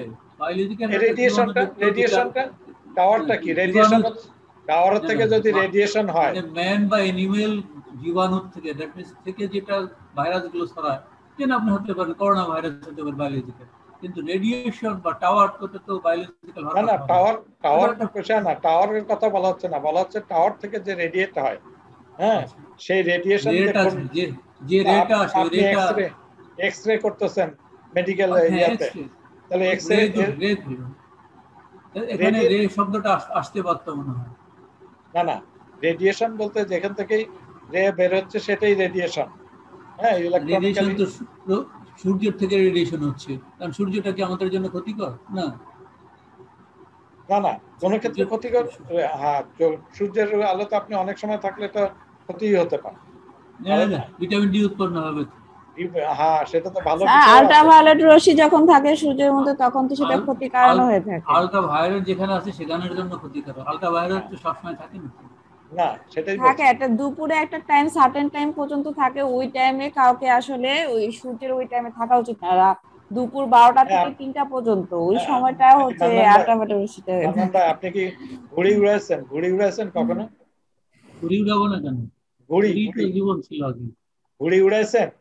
হ্যাঁ এই যে সূর্যের দিক তাকায় থেকে ঘুড়ি উড়ান তাতে কি আপনার চোখের ক্ষতি হয় কিনা সূর্যের দিকে তাকানো লাগে না তো এটা তো বিকেল বেলা উড়ে বিকেল বেলা উড়েন কি তখন সূর্য পশ্চিম দিকে থাকে না? দেখতে উত্তর দক্ষিণে বাতাস থাকতো আপনি তো সূর্যের দিকে তাকায় উড়ান লাগে না। আপনি তো বাধ্যগত সন্তান সেজন্য এরকম করেন না। যারা বাধ্যগত নয় তারা এরকম ঘুড়ি উড়াইছে কত সূর্যের দিক তাকায় থেকে বাপ মা বকা এই তোরা এই যে এখন তো বুঝবি না চোখের দিকে যে সূর্যের আলোর দিকে তাকাচ্ছিস এই আলো চোখের মধ্যে পড়লে তোর চোখের ক্ষতি হয় তো। এটা কিন্তু বাপ মা অনেক বকাঝকা করেছে।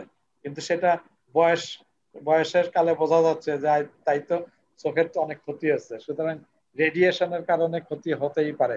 হুম? তো সেটা একটা কারণ। তাহলে জীবাণুযুক্ত যেটা জীবাণু তৈরি হয় সেটাই হচ্ছে আমরা বায়োলজিক্যাল হ্যাঁ। তো যাই হোক এখন শরীরে রিয়াকশন করলেই তাহলে সেটা বায়োলজিক্যাল ইফেক্ট তাহলে এই যে চোখের ব্যাপারে চোখে তাকায় চোখের মধ্যে রেডিয়েট হয়ে তাতে যদি ক্ষতি হয় তাহলে বায়োলজিক্যাল ইফেক্ট না? আপনি যেটা বললেন যে এই টাওয়ারের থেকে আপনি দেখেছেন নিশ্চয়ই যে নারিকেল গাছগুলো দেখছেন? কেউ মনে হয় নষ্ট হয়ে যাচ্ছে আগের মতন কিন্তু নাই। হ্যাঁ ডাবগুলো ভালো ডাবগুলো কি হচ্ছে? তাহলে এটা রেডিয়েট হয়েছে এটাকে বায়োলজিক্যালি হ্যাজার্ড তো অবশ্যই।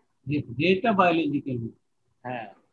সো এটা হলো ব্যাপার। তাহলে আমরা ভালোই বুঝেছি বায়োলজিক্যাল হ্যাজার্ড তারপরে মানে বায়োলজিক্যাল হ্যাঁ আপনি দেখেন যে আর্গোনমিক হ্যাজার্ড সেটা যেটা জানতে চেয়েছেন সেখানে বলেছে ওয়ার্ক রিলেটেড মাস্কুলেট কি? মাস্কুলো স্কেলাটাল সরি স্কালেটো তাহলে মাসকুলো স্কালেটো যেটা অর্থাৎ মাসেলের বিষয় যেটা মাসেলের থেকে যে মাসেল সমস্যার জন্য হতে পারে, স্কেলেটারের যে সমস্যাগুলো ঘটতে পারে, সেই জায়গাটাকে আমরা বলছি আর্গোনমিক হ্যাজার্ডের বিষয়টা। হ্যাঁ? আপনি দেখেন যে অনেক জায়গায় আমরা কাজ করছি, এই যে কম্পিউটারে বসে কাজ করি। দীর্ঘ সময় যদি কম্পিউটারে বসে কাজ করি, তাহলে আমার শরীরের ক্ষতি হতে পারে। ওই জন্য দেখেন চেয়ার কিন্তু স্পেশাল কম্পিউটারে বসার জন্য কিন্তু স্পেশাল চেয়ার দেওয়া হয়েছে। অনেক সময় দীর্ঘদিন বসে, দীর্ঘ সময় বসে কাজ করে। যে অফিসাররা যে কন্টিনিউয়াস বসে চেয়ারে বসে কাজ করছে, অনেকেই দেখেন চেয়ার কিন্তু তারা আরামকে দ্বারা না বানায়, সেখানে কিন্তু কাঠের চেয়ার বানাইছে। কেন? ওই যে মানে হাড় মেরু- মেরুদণ্ডে হ্যাঁ ক্ষতি হচ্ছে। তাহলে দীর্ঘ সময় ধরে বসে কাজ করা থাকাতে তাতেও কিন্তু মাসেলের ক্ষতি হয়। একই টাইপের কাজ বারবার করছেন যেমন আমি ক্রিকেট খেলতে যে দেখেন মাসেলে টান পড়তেছে। তাহলে এটাও কিন্তু একটা আর্গোনমিক হ্যাজার্ড কিন্তু। আপনি ফুটবল খেলতে যে মাসেল পেইন হচ্ছে। এগুলো না কিন্তু আর্গোনমিক শব্দের বাংলা অর্থ কি বোঝায়? ফিজিক্যাল হ্যাঁ। ভৌত বুঝতেছি বায়োলজিক্যাল ওই যে মাসকুলো স্কেলেটাল বলল না যে রিলেটেড ওয়ার্ক যেটা সেটা থেকে এই এই এই মানে স্কেলেটারের ডেভিয়েশন হচ্ছে মাসেলের ডেভিয়েশন হচ্ছে। সেটাই আর্গোনমিক্যাল হ্যাজার্ড স্পনস যে কি জানি একটা ইয়ে ভানুর একটা কৌতুক ছিল না? ওই যে মিনি বাসে উঠে মিনি বাসে চড়তে চড়তে হ্যাঁ স্পন্ডিলাইটিস হয়ে গেছে ঘাড় বাঁকা হয়ে গেছে। তাহলে এই যে ঘাড় বাঁকা হয়ে গেল এটাও কিন্তু আর্গোনমিক হাজার আর মিনি বাসে যে তো দাঁড়া- দাঁড়ায় থেকে মিনি বাসে চড়াটা তো শরীরের জন্য ক্ষতিকারক এবং কি ধরনের ক্ষতি সেটা বুঝলেন। হম যে ঘটে যাচ্ছে সেইটার কথাটাও কিন্তু এখানে আপনি বলতে পারেন। রিপিটেড স্প্রেইন আর স্ট্রেন ইনজুরি ইত্যাদি বিষয়গুলোকে আমরা বলছি। মোটামুটি একটু বোঝা গেছে তাই না? আর একটু পড়লে আপনি বুঝবেন যে কোনটা আর্গোনমিক বইতে তো আবার অন্য কিছু বলতেছে এক্সাম্পল বলতেছে বইতে- বইতে- lighting work station and too light high এই এই সমস্ত বলে কেন হ্যাঁ ওইটা আমি বললাম যে একটু মনে হচ্ছে এই বইটা তাহলে আমার যে আমরা কোন দিকে যাব? আমাদের তো বই দিচ্ছে না। না এই আমি তো এই জন্য অন্য কিছু নিতে দিবেন না এই যে না না। নি- পরীক্ষার নিতে হলে তো দিবেন অন্য না কিছু কিন্তু এটা এটা আমি আপনাকে বলি এই যে কথাগুলো লিখতে আপনার বই লাগবে না। বই লাগবে না, কয়দিন মনে থাকবে? আপনি তো এক মাস করে করাবেন না না আপনি আপনি মনে থাকবে আমার এটা বই কাছেও থাকবে না এটা দেখার না না এই জন্য আপনি এটা এটা লিখে নেন অথবা করে নেন স্ন্যাপ নিয়ে নেন নিয়ে রাখেন ওইটাই বই হবে আপনার জন্য। তাহলে পড়বেন সেটা দেখে দেখে। আর কোনো কথা এখানেও আছে এই বইতে নাই তা না আপনি এই বইতে পড়লেও পাবেন। আর কোনো পাইলাম তো বললাম হ্যাঁ আপনি কিন্তু এখানে বিশেষ প্রশ্ন আসে না আমি আপনাকে ক্লিয়ার করে দিয়েছি যে টাইপ হ্যাঁ হ্যাজার্ডের টাইপ কি আর দুই একটা প্রশ্ন এভাবে আসে যে এইটা হলে কি কি টাইপের হ্যাজার্ড করোনা ভাইরাস কি টাইপের হ্যাজার্ড আপনার এই যে স্পোনাটাইটিস হলো সেটা কি টাইপের হ্যাজার্ড এই ফিজিক্যাল হ্যাজার্ড টাইপের কি এইটুক ছাড়া আর বাইরের কিছু নাই। বুঝতে পেরেছেন? এই দুইটা তিনটা কথা ছাড়া আর এখান থেকে আর কোনো প্রশ্ন আপনি যে হ্যাজার্ডের ইফেক্ট দিলেন ওদের ইফেক্ট তো আলাদা। ওর effect low productivity high rate errors না না আপনি দিল এই- দিল এই কয়টা আর আপনি দিলেন আরও আরও কতগুলো আচ্ছা, নাই। আপনাকে আপনাকে শুনেন এটার থেকে বেশি জানা লাগবে না যেটুকু জানলে। বইতে বইতে দেখলাম যে বইটা না আপনি আপনি নেটে সার্চ করলে ভিডিও আছে আমি ভিডিও দেখাতে পারব আপনাকে দেখাবো। ওকে এমন কে লিখে সার্চ করা বয়স হ্যাঁ ভিডিও দেখাবো এই এই টাইপের হ্যাঁ দেখলে আপনি বুঝতে পারবেন আশা করি। এরপরে দেখেন হ্যাজার্ড ম্যানেজমেন্ট অনেক সময় বলে যে হ্যাজার্ড ম্যানেজমেন্ট কীভাবে হয়? তাহলে বলবেন সেফ মনে রাখবেন কি? S A F E safe safe hazard ম্যানেজমেন্টে বলা আছে? সেফ সেফ কি? স্পট দ্য হ্যাজার্ড মানে স্পট দ্য হ্যাজার্ড মানে আইডেন্টিফাই করা। হ্যাজার্ড একই কথা দেখেন। আবার এই এখানে যা কিছুই বলছে যে এই এক এইরকমই কথা ছাড়া আর বাইরের কিছু নাই। স্পট দ্য হ্যাজার্ড তা আপনি যদি বলেন আইডেন্টিফাই দ্য হ্যাজার্ড তাও হবে। অ্যাসেস দ্য হ্যাজার্ড হ্যাজার্ডটা অ্যাসেস করেন যে কোন কোন ক্যাটাগরি কীরকম হ্যাজার্ড কত হাই রিস্ক না লো রিস্ক না medium risk fixed the hazard তার হ্যাজার্ডটাকে ফিক্সড আপ করবেন দূরীভূত করবেন এবং দূরীভূত হলো কিনা সঠিকভাবে সেটাকে পরে এভুলেট করবেন দ্য রেজাল্ট হ্যাঁ কাজটা সম্পন্ন হলে এটাকে এভুলেট করবেন। তাহলে সেফ মনে রাখলে spot the hazard assess the hazard fix the hazard evaluate the hazard এটা কিন্তু আছে কত নম্বর পেজে এটা কত নম্বর পেজে আছে? আঠাশ নম্বর পেজে স্যার হ্যাঁ টোয়েন্টি এইট এটা হলো টোয়েন্টি এইট নাম্বার পেজে আছে কিন্তু।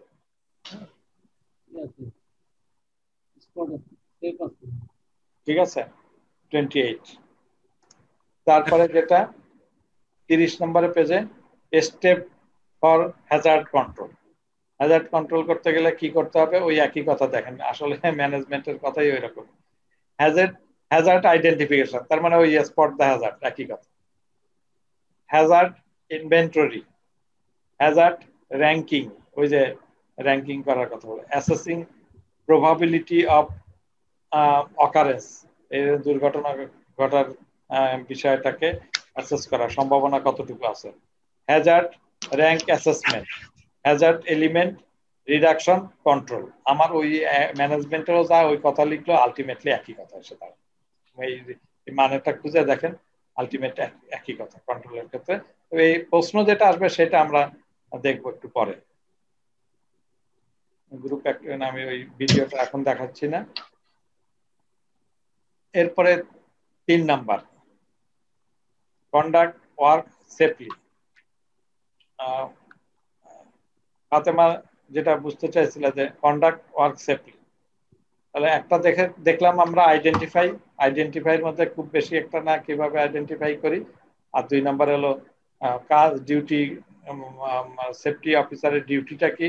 এই দুটাই ওখানে একটু বোঝার বিষয় আছে। দুই নাম্বারে যেটা বলেছি যে, ওই হ্যাজার্ডের সংজ্ঞাটা কি? হ্যাঁ হ্যাজার্ডের টাইপটা কি?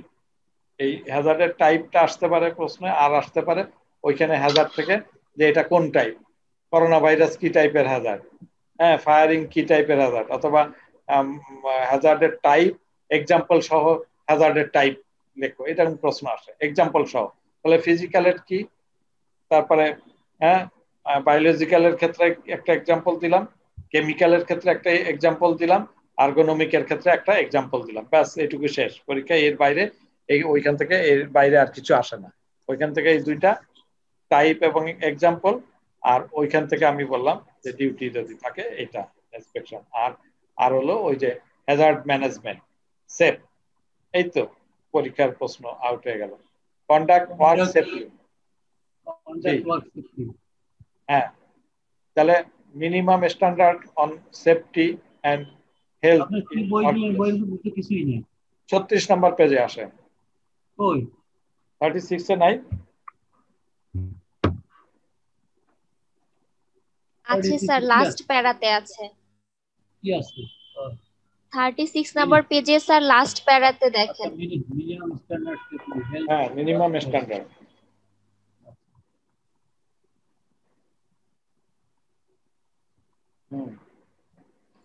সেখানে বলা আছে appropriate seat lighting and ventilation আমরা আগেই জেনেছি যে বসার মানে বসবো যেখানে বসার ব্যবস্থাটা সুন্দর হতে হবে।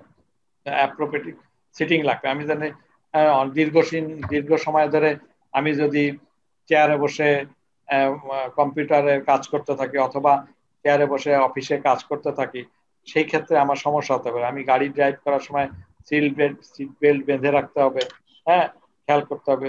মানে প্রত্যেকটা জায়গায় এরকম সিটটা হলো ইম্পর্টেন্ট একটা ব্যাপার। হম, এইটার কথা বলেছে যে অ্যাপ্রোপ্রিয়েট সিট হতে হবে।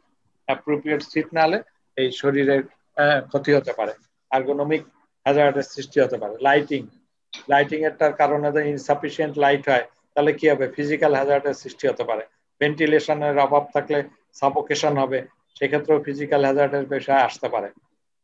Adequate pathway and exit and fire fighting equipment তাহলে এই ক্ষেত্রে কি হয়েছে? আমাকে ভালো মানে যে পথ ধরুন মানে আগুন ধরে গেল, তাহলে কি হয়েছে? এমার্জেন্সি এক্সিট তাহলে এক্সিট কোনটা? আমাকে জানতে হবে। ওয়ার্ক প্লেসের ক্ষেত্রে আমাকে স্ট্যান্ডার্ড হলো এটা, যে আমার কিন্তু পাথ মানে কোন পথে আমরা যাই এক্সিট করব, সেগুলো জানতে হবে। ফায়ার ফাইটিংগুলো ইকুইপমেন্টগুলো কোথায় থাকে, সেটা কিন্তু আমাকে সেট করতে হবে। অ্যাডিকুয়েট যে জিনিসগুলো যদি আমি না সেট করি, যেগুলো লাগবে, তাহলে তাহলে সেখানে বিপদ হতে পারে। তো এই জন্য এই এই জিনিসটার ব্যাপারে খেয়াল রাখতে বলছে, এগুলো মিনিমাম স্ট্যান্ডার্ড এই স্ট্যান্ডার্ড মেনটেন করে চলতে হবে। এক্সিট থাকার কথা ফায়ার ফাইটিং ইকুইপমেন্ট থাকতে হবে অফিসগুলোতে separate toilet facility for man and women তাহলে সে জায়গায় মেয়েদের এবং ছেলেদের আলাদা আলাদা টয়লেট ব্যবস্থা থাকতে হবে। Appropriate protecting clothing like protective gear mask helmets safety boots coats হ্যাঁ গগল। তাহলে এগুলো সবগুলো বলছি protecting cloth clothing protecting clothing তার মানে যা তারা ঢেকে দেয় সেটা কি আবৃত করার বিষয়টা, সেটাই কে বলছে প্রোটেক্টিং ক্লোদিং হ্যাঁ কথাটা কিন্তু প্রোটেক্টিং ক্লোদিং যা দ্বারা আবৃত করতে পারি। তার মানে আমাকে মাস্ক দ্বারা, এই যে এখন করোনা ভাইরাসের কারণের জন্য আমাকে অ্যাপ্রোপ্রিয়েটলি মাস্ক পরতে হবে। আমি যদি নাকের নিচে মাস্ক পরি তাহলে আমার কোনো কাজ হলো? এটা অ্যাপ্রোপ্রিয়েট হলো? এটা অ্যাপ্রোপ্রিয়েট প্রোটেকশন হলো না। হেলমেট পরতে হবে সঠিকভাবে টাইট করে পড়তে হবে। সেফটি বুট পড়তে হবে। একটা আগে যেটা বলেছিলাম যে হ্যাঁ এই যে দেখেন মেট্রোপলিটনে কাজ করছে বিভিন্ন জায়গায় কাজ করতেছে। সিভিলে মান্নান ভাইরা যেখানে ফিজিক্যালি কাজ করে তাদের ওয়ার্কারদের তো বুট টুট পড়ায় কিনা আমি জানি না। পয়সা বাঁচানোর জন্য অনেক সময় বগুড়াতে একটা কাজে গেলাম তো। ওখানে সেফটি ডিভাইস ছাড়া কাজ করতেই পারবে প্রত্যেকটা লেবারের সেফটি ডিভাইস বুট করতে হবে গাউন করতে হবে সেফটি বেল্ট করতে হবে তা আপনারা তা তা বলেনই না কিছুই তাদেরকে। না না এটা পাঁচ তা না যে নরওয়ে কোম্পানি এসে ওদের কাজই বন্ধ করে যে বাচ্চা ছেলে পেলে ওই সাইডে হ্যাঁ। সেটাই। তারপরে বলছে ফার্স্ট এইড কিটস হ্যাঁ মিনিমাম স্ট্যান্ডার্ড তারপরে ফার্স্ট এইড কিটস থাকতে হবে। Free medical and dental service provide করতে হবে। তাহলে এগুলো হলো মিনিমাম স্ট্যান্ডার্ড সেফটি অ্যান্ড হেলথের এই যে বলছে যে সেফটি অ্যান্ড হেলথের ল সেই লর মধ্যে বলা আছে যে স্ট্যান্ডার্ড মিনিমাম স্ট্যান্ডার্ড কি? এটা হলো তার মিনিমাম স্ট্যান্ডার্ড এইগুলো থাকতে হবে। Appropriate seat lighting ventilation adequate passway exit আর ফায়ার ফাইটিংস এর বিষয় বলছে। সেপারেট টয়লেট থাকতে হবে ছেলে মেয়েদের জন্য। অ্যাপ্রোপ্রিয়েট প্রোটেক্টিং ক্লথ ব্যবহার করতে হবে। ফার্স্ট এইড বক্স থাকতে হবে ফ্রি মেডিকেল ডেন্টাল এইগুলো আমাদের মিনিমাম স্ট্যান্ডার্ড এটা মেনটেন করা প্রয়োজন আছে। আরও ভালো প্রয়োজন থাকতে হবে যে, বড় বড় মাল্টি স্টোরেজ বিল্ডিং হলে তার কিন্তু আরও অনেক প্রোটেক্টিভ অ্যারেঞ্জমেন্ট তাই না? ফায়ার ফাইটিংগুলো থাকতে হবে কিন্তু একেবারে এমার্জেন্সি মানে অটো অটো এই ফ্যাসিলিটি গুলো পায়। আমরা দেখেন ফায়ার ফাইটিং ইকুইপমেন্ট ব্যবহার করি কিন্তু দীর্ঘদিন হয়তো লাগায় রাখছি। ও যে ও ও যে অ্যাক্টিভ আছে কি না তাও কিন্তু চেক করি না মেনটেন করি না। কিন্তু এটা তো ঠিক না। অনেকে আমরা কিন্তু জানি না যে কীভাবে এই ফায়ার ফাইটিং ইকুইপমেন্টগুলো অপারেট করতে হবে। আমরা কি এখানে যারা আছি সবাই কি ফায়ার ফাইটিং ইকুইপমেন্ট অপারেট করা জানি? কি? না জানি না। জানি না জানেন? হ্যাঁ জানি ডিজি অফিসে কয়েকদিন প্র্যাকটিস করা হয়েছে। প্র্যাকটিস করানো হয়েছে কারণ ওটা কিন্তু এক বছর পরে কিন্তু এটা আর ভালো থাকে না। হ্যাঁ ওই লিকুইডগুলো কিন্তু নষ্ট হয়ে যায় ওই পাউডারগুলো কিন্তু ড্যামেজ হয়ে যায় ওরা একটা লাইফ টাইম আছে। তাহলে হ্যাঁ ডেট আছে একবার প্র্যাকটিস করা হয়েছে আর আর বছর আর কি করানো হয়? না একবারই হয়েছে না। কিন্তু প্রত্যেক বছরে কিন্তু করতে পারে। আমি গ্রাফিক গ্রাফিক্স থাকতে কয়েকবারই করা হয়েছে এনিওয়ে প্রত্যেক বছরই টেস্ট করে হ্যাঁ তার কারণ ওটা তো ইফেক্টিভনেস থাকে না।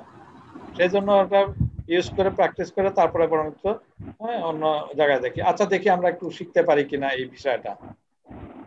রেসপন্সিবিলিটি আন্ডার অস তাহলে duties duties of employers employer duty কি হতে পারে? একটু বলতে পারব আমরা? এমপ্লয়ার ছত্রিশ নম্বর পেজেই তো আছে না সাঁত্রিশে আছে। সাঁত্রিশে আছে। আচ্ছা আমি একটু আরেকটু অন্যভাবে আরেকটু বলি এই জায়গায় আমি একটু আরেকটু ডিসকাস করি সেপারেটলি বিষয়টা হলো এরকম। আচ্ছা দেখা গেছে কিন্তু ইয়ং যারা ইয়ং যে এমপ্লয়ার মানে সরি এমপ্লয়ি মানে যারা মানে একেবারে ইয়ং তাদের মধ্যে কিন্তু দুর্ঘটনাটা বেশি ঘটে। কেন ঘটে? তাদের দ্বারা দুর্ঘটনা বেশি ঘটে। কেন ঘটে? তাদের অভিজ্ঞতা কম একটা হ্যাঁ বলো ভাই। তাদের তাদের অভিজ্ঞতা কম। শিওর আর ওয়ার্ক প্লেস সম্পর্কে তাদের পূর্ণাঙ্গ ধারণা না থাকা এটা একটা কারণ। এবং তারা নিজেরা যেহেতু ইয়াং তাদের ভিতরে কেয়ারলেস ভাবটা বেশি থাকে কেয়ারফুলনেসটা কম থাকে আর কি। এটাও একটা কারণ। তারপরে তারপরে হচ্ছে যে ওই ওয়ার্ক প্লেসে কি ধরনের কাজের সাথে সে হবে যদি সে পরিপূর্ণভাবে ট্রেইন না থাকে তাহলে পরে এটা হয় এবং একজন ইয়াং মানে হ্যাঁ। এমপ্লয়ি সে সেভাবে ট্রেইন না তো এটাও একটা কারণ হতে পারে। এটা দেখছেন এক্সপিরিয়েন্স লোক কত সুন্দর করে কথাগুলো বলে এর appropriate। সাথে আরেকটা আরেকটা যোগ হতে পারে স্যার ওভার হ্যাঁ ওভার কনফিডেন্স এটা ওভার কনফিডেন্সটাই যোগ হতে পারে। আচ্ছা কাগজ কলম থাকলে আমি একটু আমি বলি একটু লিখে নেন। যদি ইয়ং যারা, তাদের মধ্যে দুর্ঘটনা ঘটার প্রবণতা বেশি হওয়ার কারণ কি? কয়েকটা পয়েন্ট আমি চার পাঁচটা পয়েন্ট একটু বলি। একটা লেখেন নট এনাফ ট্রেনিং ফারুক সাহেব যে কথা বলল, যে তাকে সাফিসিয়েন্ট ট্রেনিং করানো হয় না যায় এইরকম অ্যাক্সিডেন্ট হওয়ার ঘটনা তাদের দ্বারা বেশি সম্ভব। তাহলে not enough training not enough experience কারণ সে তো ইয়ং তার তো এখনও এক্সপিরিয়েন্স হয় নাই। সুতরাং নট এনাফ এক্সপিরিয়েন্স যেটা ফারুক সাহেব বলেছেন। বলেছে don't know their legal rights তাদের যে আইনগত যে অধিকার, সেটা সম্বন্ধেও কিন্তু তারা জানে না। তারা তাদের কি করতে করা উচিত, কি করা উচিত না, কোনটা করবে কোনটা করবে না, সেই রাইটস কি, সেই রাইটস সম্বন্ধে তার ধারণা নাই। তার মানে don't know their legal rights তারপরে afraid afraid to ask question say senior একজন তাকে বলেছে সে তার- সঙ্গে কিন্তু তার তার সঙ্গে এই কেন করব? এই যে প্রশ্ন তাকে করে না, করতে চায় না, সাহস পায় না। হ্যাঁ? তাহলে অ্যাফ্রেড টু আস্ক কোশ্চেন তৃতীয় যদি একটা কথা বলি tired from training to balance work with school and other activities say other স্কুলে থেকে আসছে, সেখানে বাইরে কিছু কাজ বাজ করে আসছে, তারপর তাকে আবার এই ধরনের হ্যাঁ? ঝুঁকির মধ্যে ফেলে বলে যে এটা করো, সেটা করো। সে টায়ার্ড অবস্থায়, সে ওই যে বললেন যে কেয়ার কেয়ারলেস একটু কেয়ারলেস থাকল, অমনোযোগী হয়ে পড়ল। সে অন্যান্য ধরনের কাজের মধ্যে থেকে, সে অন্যমনস্ক থেকে কাজ করেছে, তার থেকে সে দুর্ঘটনা ঘটতে পারে। তাহলে আপনার যে কথাটা বললেন, পাঁচটা পয়েন্টে কিন্তু সঠিক। এই ধরনের কেসে কারা ক্ষতিগ্রস্ত হয়? মানে একজন মানুষ, একজন যদি এই এই এতে ইনজুর্ড হয় অথবা মারা যায় একজন এমপ্লয়ি হ্যাঁ? তাহলে ক্ষতি সবচেয়ে বেশি ক্ষতি কে হয়? এটা এই পয়েন্টটা লিখতে পারেন যে মারা গেলে বা ইনজুর্ড হলে তার কারণের জন্য কে বেশি ক্ষতিগ্রস্ত হয়? এটা খুব স্বাভাবিক ব্যাপার। তার পরিবার প্রথম তার ক্ষতিগ্রস্ত বেশি পরিবার হ্যাঁ। আর কে? আর কে হতে পারে? এখন শুধু এক্সপিরিয়েন্স পার্সন হবে প্রতিষ্ঠান ক্ষতিগ্রস্ত হবে। হ্যাঁ একজন এক্সপিরিয়েন্স পার্সন যদি ইনজুর্ড হয় সেক্ষেত্রে তার জন্য কে ক্ষতিগ্রস্ত হবে? প্রতিষ্ঠান ক্ষতিগ্রস্ত হবে। প্রতিষ্ঠান পরিবার পরিবার হতে পারে। পরিবার হলে প্রতিষ্ঠান হবে। তাহলে আমি একটু বলি যে ফ্যামিলি এবং ফ্রেন্ড বন্ধু বান্ধবরাও ক্ষতিগ্রস্ত। বন্ধু বান্ধবরাও তার দ্বারা উপকার পেয়ে থাকে অনেক ক্ষেত্রে। মেইনলি ফ্যামিলি তার সঙ্গে ফ্রেন্ডস এর কথাটা আমরা বলতে পারি। আমরা বলতে পারি যে এমপ্লয়ার যে কথাটা বলেছেন যে যারা যে কোম্পানিতে সে কাজ করতে একজন ভালো কর্মী যদি মিস হয় হারা যায় বা ইনজুর্ড হয়, তাহলে কিন্তু এমপ্লয়ারও তার মানে খুব ভাবে ক্ষতিগ্রস্ত হয়। এখানে একইভাবে কিন্তু ও ওয়ার্কার যারা তার সহকারী আছে, সহযোগী আছে, তারাও কিন্তু ক্ষতি। যে একটা ভালো মানুষ, এই যে শুধু কি ইনজুরি যদি কোনো যাতে একটা ভালো মানুষ রিটায়ার্ড করে, তাও তো ক্ষতিগ্রস্ত হয়। হ্যাঁ মান্নান ভাইয়ের মতন মানুষ এক্সপিরিয়েন্স মানুষ, সে এখন নাই সিস্টেমে ফারুক ভাইয়ের মতন একজন এক্সপিরিয়েন্স ইঞ্জিনিয়ার সে নাই হ্যাঁ আমাদের এই সিটি কর্পোরেশনে তাহলে কোম্পানিও কিন্তু ক্ষতিগ্রস্ত হচ্ছে এখানে তো ফ্যামিলি হচ্ছে না কিন্তু কোম্পানি তাহলে কোম্পানি কোনো না একটা মানুষ এক্সপিরিয়েন্স মানুষ চলে গেলে যে কোনো ভাবে চলে গেলে সে ক্ষতিগ্রস্ত হয়। তো সেখানে এমপ্লয়াররা ক্ষতিগ্রস্ত হচ্ছে এত সঙ্গে কোয়ার্কাররা ক্ষতিগ্রস্ত হচ্ছে কমিউনিটিও ক্ষতিগ্রস্ত হচ্ছে। সমাজও ক্ষতিগ্রস্ত হচ্ছে তাই না?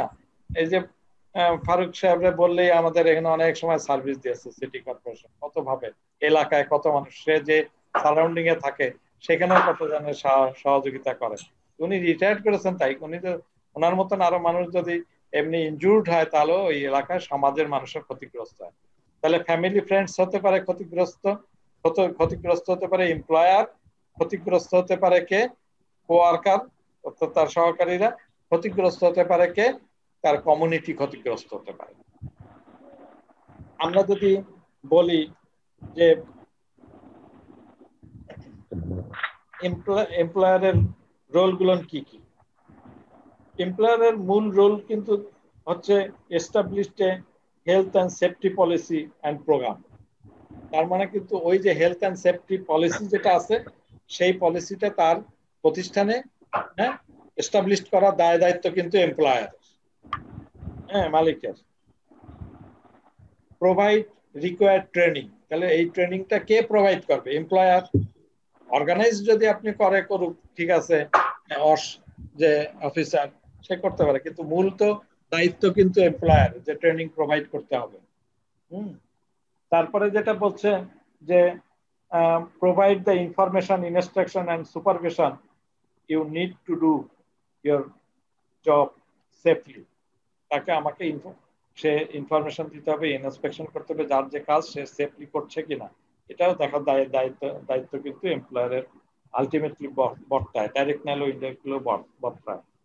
Make sure you have necessary safety equipment আপনার অফিসে নেসেসারি সেফটি ইকুইপমেন্ট আছে। ফায়ার ফাইটিং এক্সটিংগুইজার আপনার আছে, ঠিক জায়গায় লাগানো আছে, সেই, এই, তার যদি না দেন খালি ট্রেনিং দিলে তো হবে না। ওই সেফটি ইকুইপমেন্টগুলো থাকা প্রয়োজন আছে। অফিসে সেই দায়িত্বটাও কিন্তু এমপ্লয়ারের provide information on hazards in the work place work প্লেসে এই যে ইনফরমেশনগুলো, সেখানে কিন্তু টাঙায় দেওয়া উচিত। বড় বড় এই যে হসপিটাল অমুক তমুক, সেখানে দেখেন পলিসি গুলো কিন্তু সেফটি পলিসি গুলো কিন্তু বিরাট করে টানায় দেওয়া আছে জনসমক্ষে। জানে সবার দৃষ্টিতে পড়ে যে সেফটি গুলো কি কি, কোথায় কীভাবে আছে? প্লাস এক্সিট কোথায়? এক্সটিংগুইশারগুলো কোথায়? এমার্জেন্সি এক্সিট কোথায়? এই কথাগুলো কিন্তু লিখে লিখে লিখে লিখে রাখে। এই ইনফরমেশনগুলো প্রোভাইড করার বিষয়টাও কিন্তু এমপ্লয়ার একটা রোল হিসেবে ট্রিটেড হয়।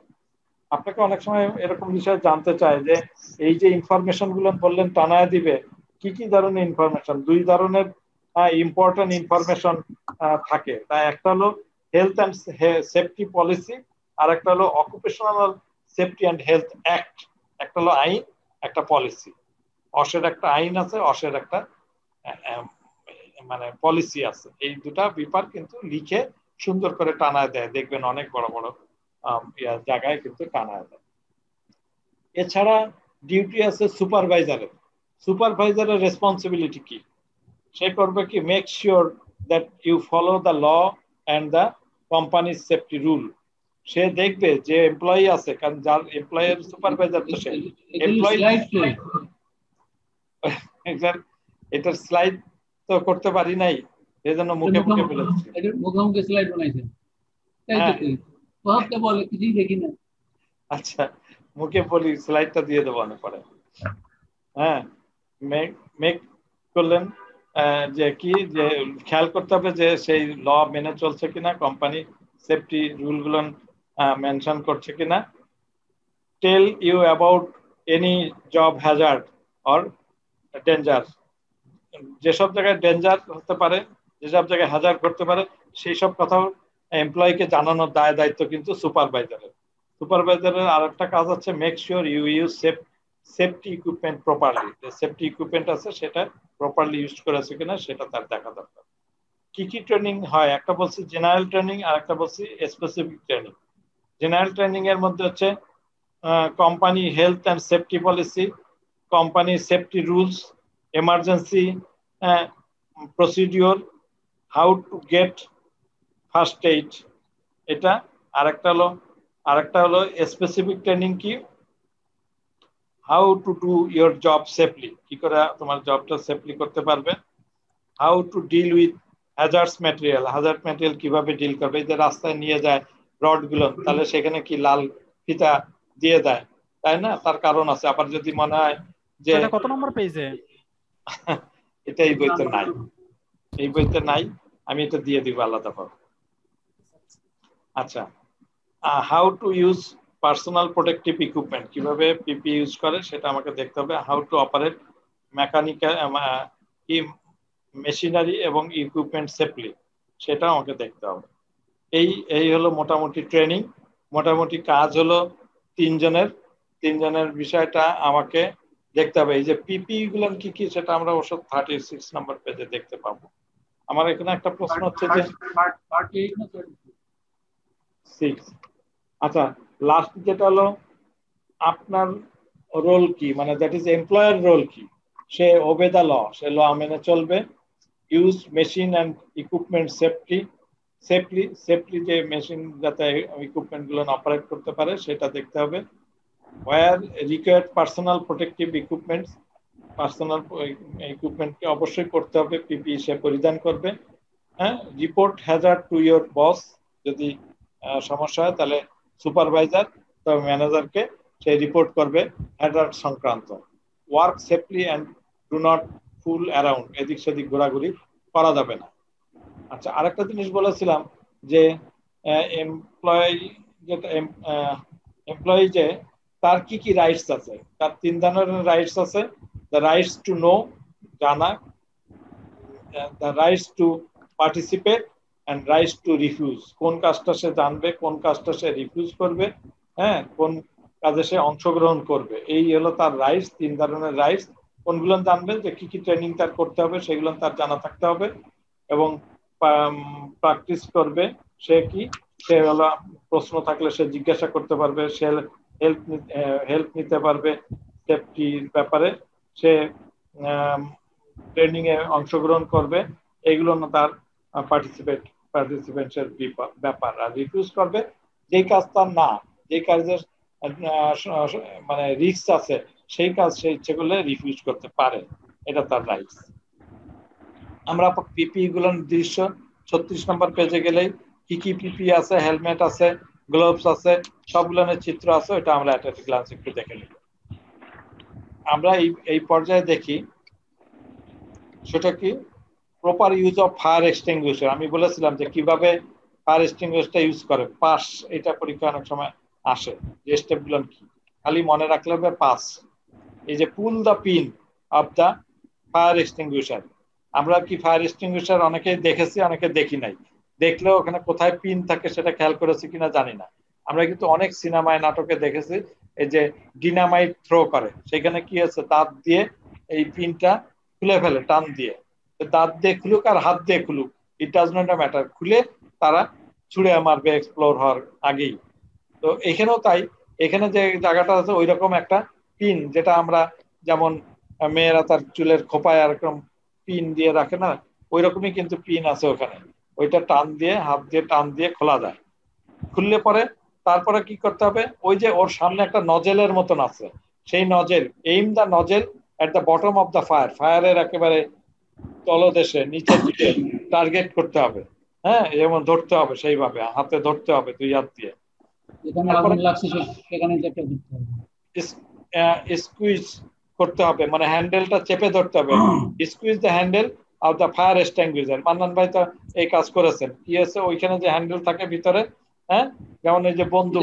আগুন লাগছে ওখানে ধরতে হবে। হ্যাঁ। আর যেন মুখের দিকে ধরা যাবে না। না না ধরে তারপরে কিন্তু হ্যান্ডেলটা চাপ চাপ দিতে হবে। ওই যে যে বন্দুকে যেমন নল চেপে দেয় ওই যে ধারের ধারের উপর একটা হ্যান্ডেল আছে ওটা চেপে হ্যাঁ হ্যান্ডেলটাকে চেপে দেওয়াটা বলে স্কুইজ করা। তারপরে যেটা সুইপ এবং এই চারপাশে ঘুরাতে হবে। যাতে ফোমটা বা ফিউমটা অত চারিদিকে বা এই লিকুইডটা চারিদিকে যায় এবং আগুন নিবৃত হয়।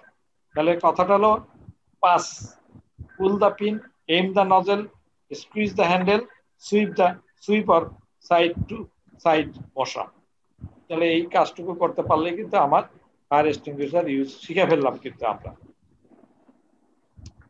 আচ্ছা maintain and improve health and safety আমরা কি এখানে শেষ করব না? এটাই থ্রি পয়েন্ট ফাইভই লাস্ট আমি শেষ করে দিই। দরকার কালকে আরেকবার একটু ডিসকাস করব। Frame for the process in অস এটা একই জিনিস। এর আগেও বলছি identify other associated risk assessing এর এর দ্বারা কি ধরনের রিস্ক হতে পারে? Taking action to mitigate the risk এবং এইটা দূর করার জন্য হ্যাঁ অ্যাকশন নিতে হবে এবং মনিটরিং যে অ্যাকশন যা নিলাম দূর করার জন্য সেটা কি সত্যি সত্যি কাজ করতেছে কিনা এটা মনিটরিং করা হ্যাঁ ইফেক্টিভনেস এইটাই হলো ফ্রেম ওই অস প্রসেসের ফ্রেম ওখানেও বলছে একবার এখানেও আরেক, আরেকবার বলছে। এটা লাস্ট এসে বলছে, ওটা ওরা প্রথম ফিফটি নাইন পেজে এর ফ্রেমটা কি আইডেন্টিফাই করা? এর আইডেন্টিফাই হ্যাজার্ড যদি পাই, তাহলে তার দ্বারা কোনো রিস্ক সৃষ্টি হতে পারে কিনা সেটা দেখা।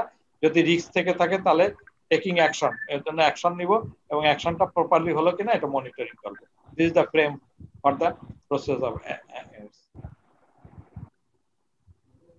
কি কি সোর্স থাকতে পারে হ্যাজার্ডের জন্য? সে বলছে যে সেটা বের করার জন্য নিয়ম হলো পাস্ট ইনসিডেন্ট মানে বিগত সময়ে যদি এরকম কোনো অ্যাক্সিডেন্ট হয়ে থাকে, সেটা স্টাডি করে দেখতে পাই ইনপুট বাই এমপ্লয়ি যারা এমপ্লয়ি আছে, তাদের কাছ শুনতে পারি যে কি কি সমস্যা এখানে হয়েছে, কেন এরকম অ্যাক্সিডেন্ট সেসব জানা যায়। Examining work place and work area work area examine করে বের করতে পারি। Review of safety instruction for equipment আমরা যে যন্ত্রপাতিগুলো কিনি, প্রত্যেকটা যন্ত্রপাতির ভিতরে কিন্তু একটা ম্যানুয়াল থাকে, তার মধ্যে বলা থাকে যে সেফটির সংক্রান্ত, যে এটা করো না, এটা করো, এটা করা যাবে না, এইভাবে করতে হবে, এইভাবে প্রোটেকশন করতে হবে।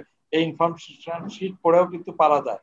কিছু ব্রেন এস্টিমি কিছু নাও যদি থাকে, ওই ম্যাটেরিয়ালসগুলো, তাহলে কিন্তু আমরা নিজেরা আলোচনা করে ব্রেন স্টমিং করেও কিন্তু বুঝতে পারি যে এখানে কি ধরনের রিস্ক থাকতে পারে। Advice from legislation standard checklist যেসব স্ট্যান্ডার্ড আছে, যেসব আইন কানুন আছে, তার মধ্যেও কিন্তু এই অ্যাডভাইস আছে, কি করতে হবে সেফটির সো এইটা হলো আমাদের হ্যাজার্ড সোর্স কীভাবে আমরা জানতে পারব হ্যাজার্ড কোথায় আছে, কীভাবে থাকতে পারে ওই সোর্সে এইটা একটা VV important very very very important এটা পরীক্ষায় প্রায়শই আসে। এটাকে বলে hierarchy of hazard control risk এটা কত নম্বর পেজে আছে? যে পেজেই থাকুক, এই এটা এই বইটার মধ্যে এখানে ভুল আছে। ভাই যখন বললেন না ভুল আছে, সেগুলো ধরাই দিতে হবে। এখানে দেখেন মেজর ভুল আছে। দেখেন তো কত নম্বর পেজ এটা।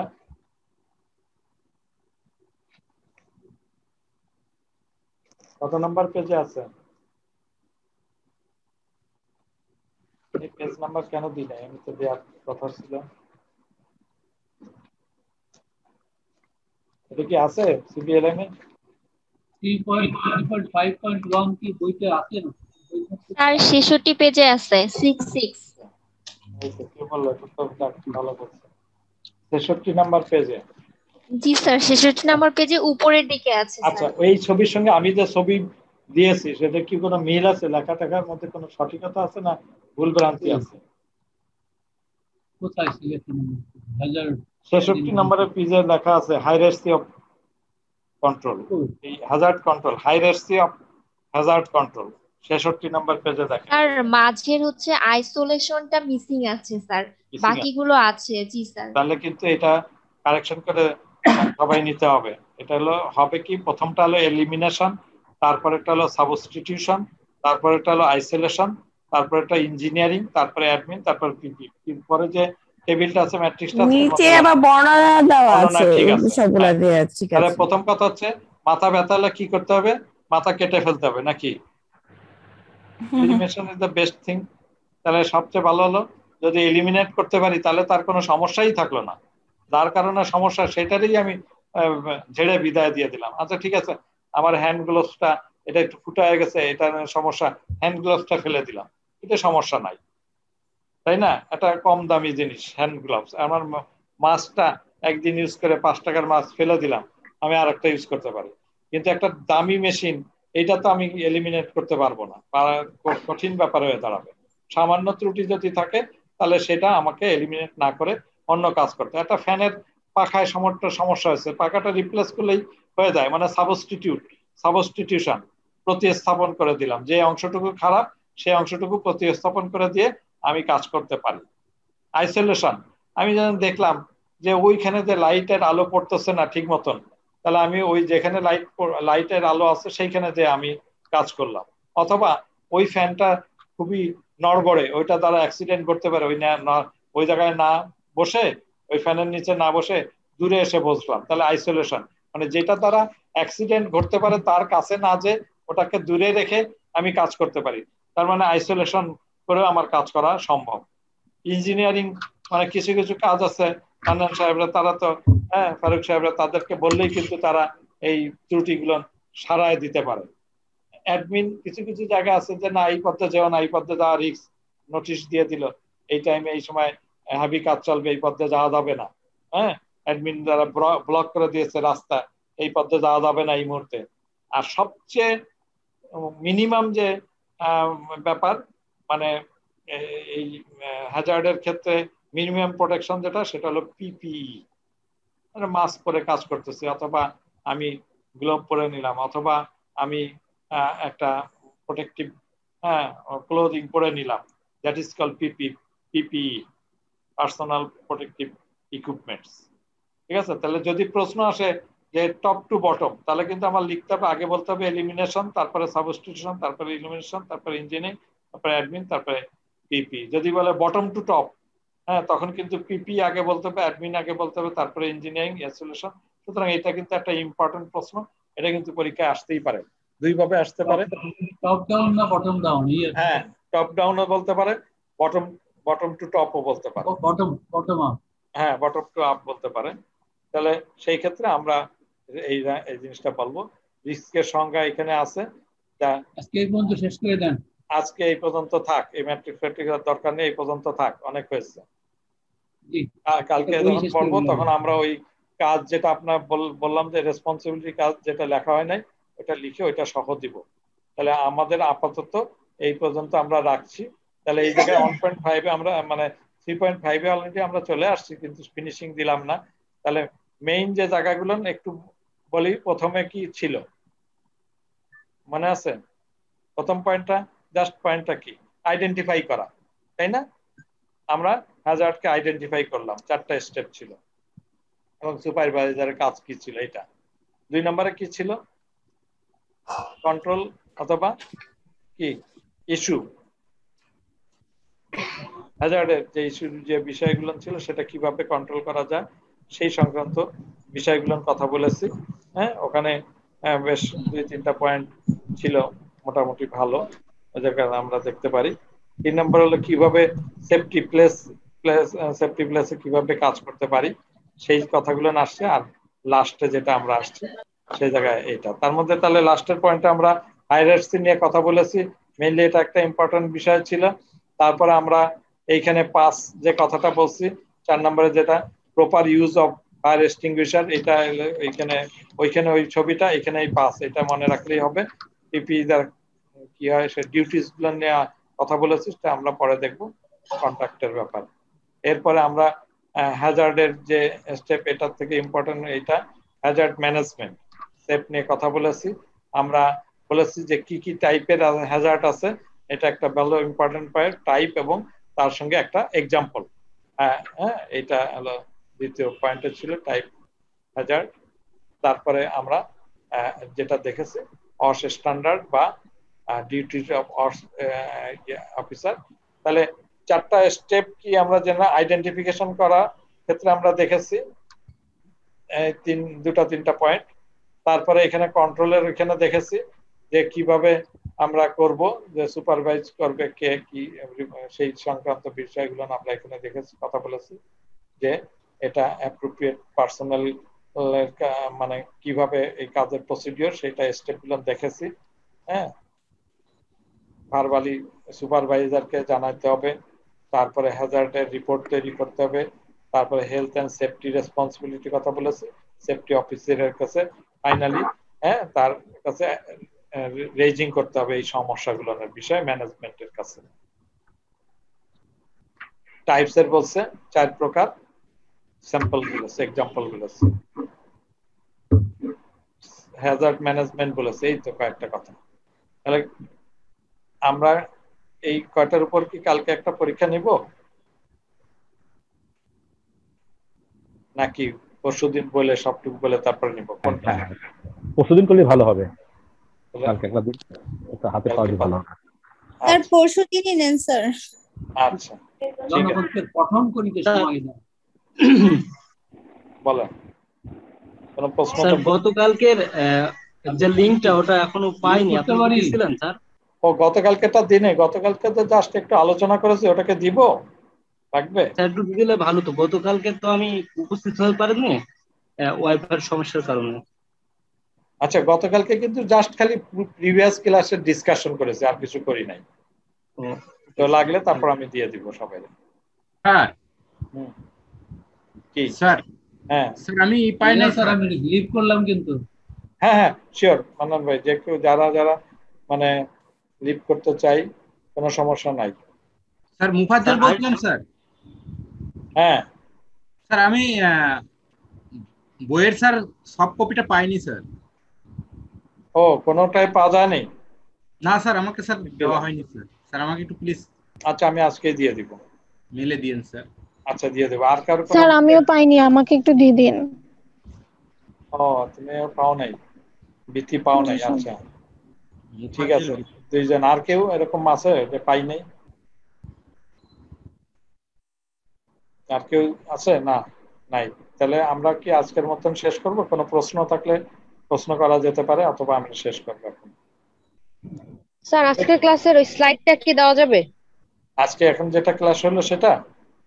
জি স্যার ওই আজকে যে স্লাইডে আপনি বুঝাচ্ছিলেন মানে পাওয়ার পয়েন্ট প্রেজেন্টেশনটা আচ্ছা আমি পুরা পুরা ইয়াটাই তো দিয়ে দেবো ওর মধ্যেই আছে স্লাইড থাকবে। আর স্লাইড লাগলে আলাদাভাবে তাও দেওয়া যাবে।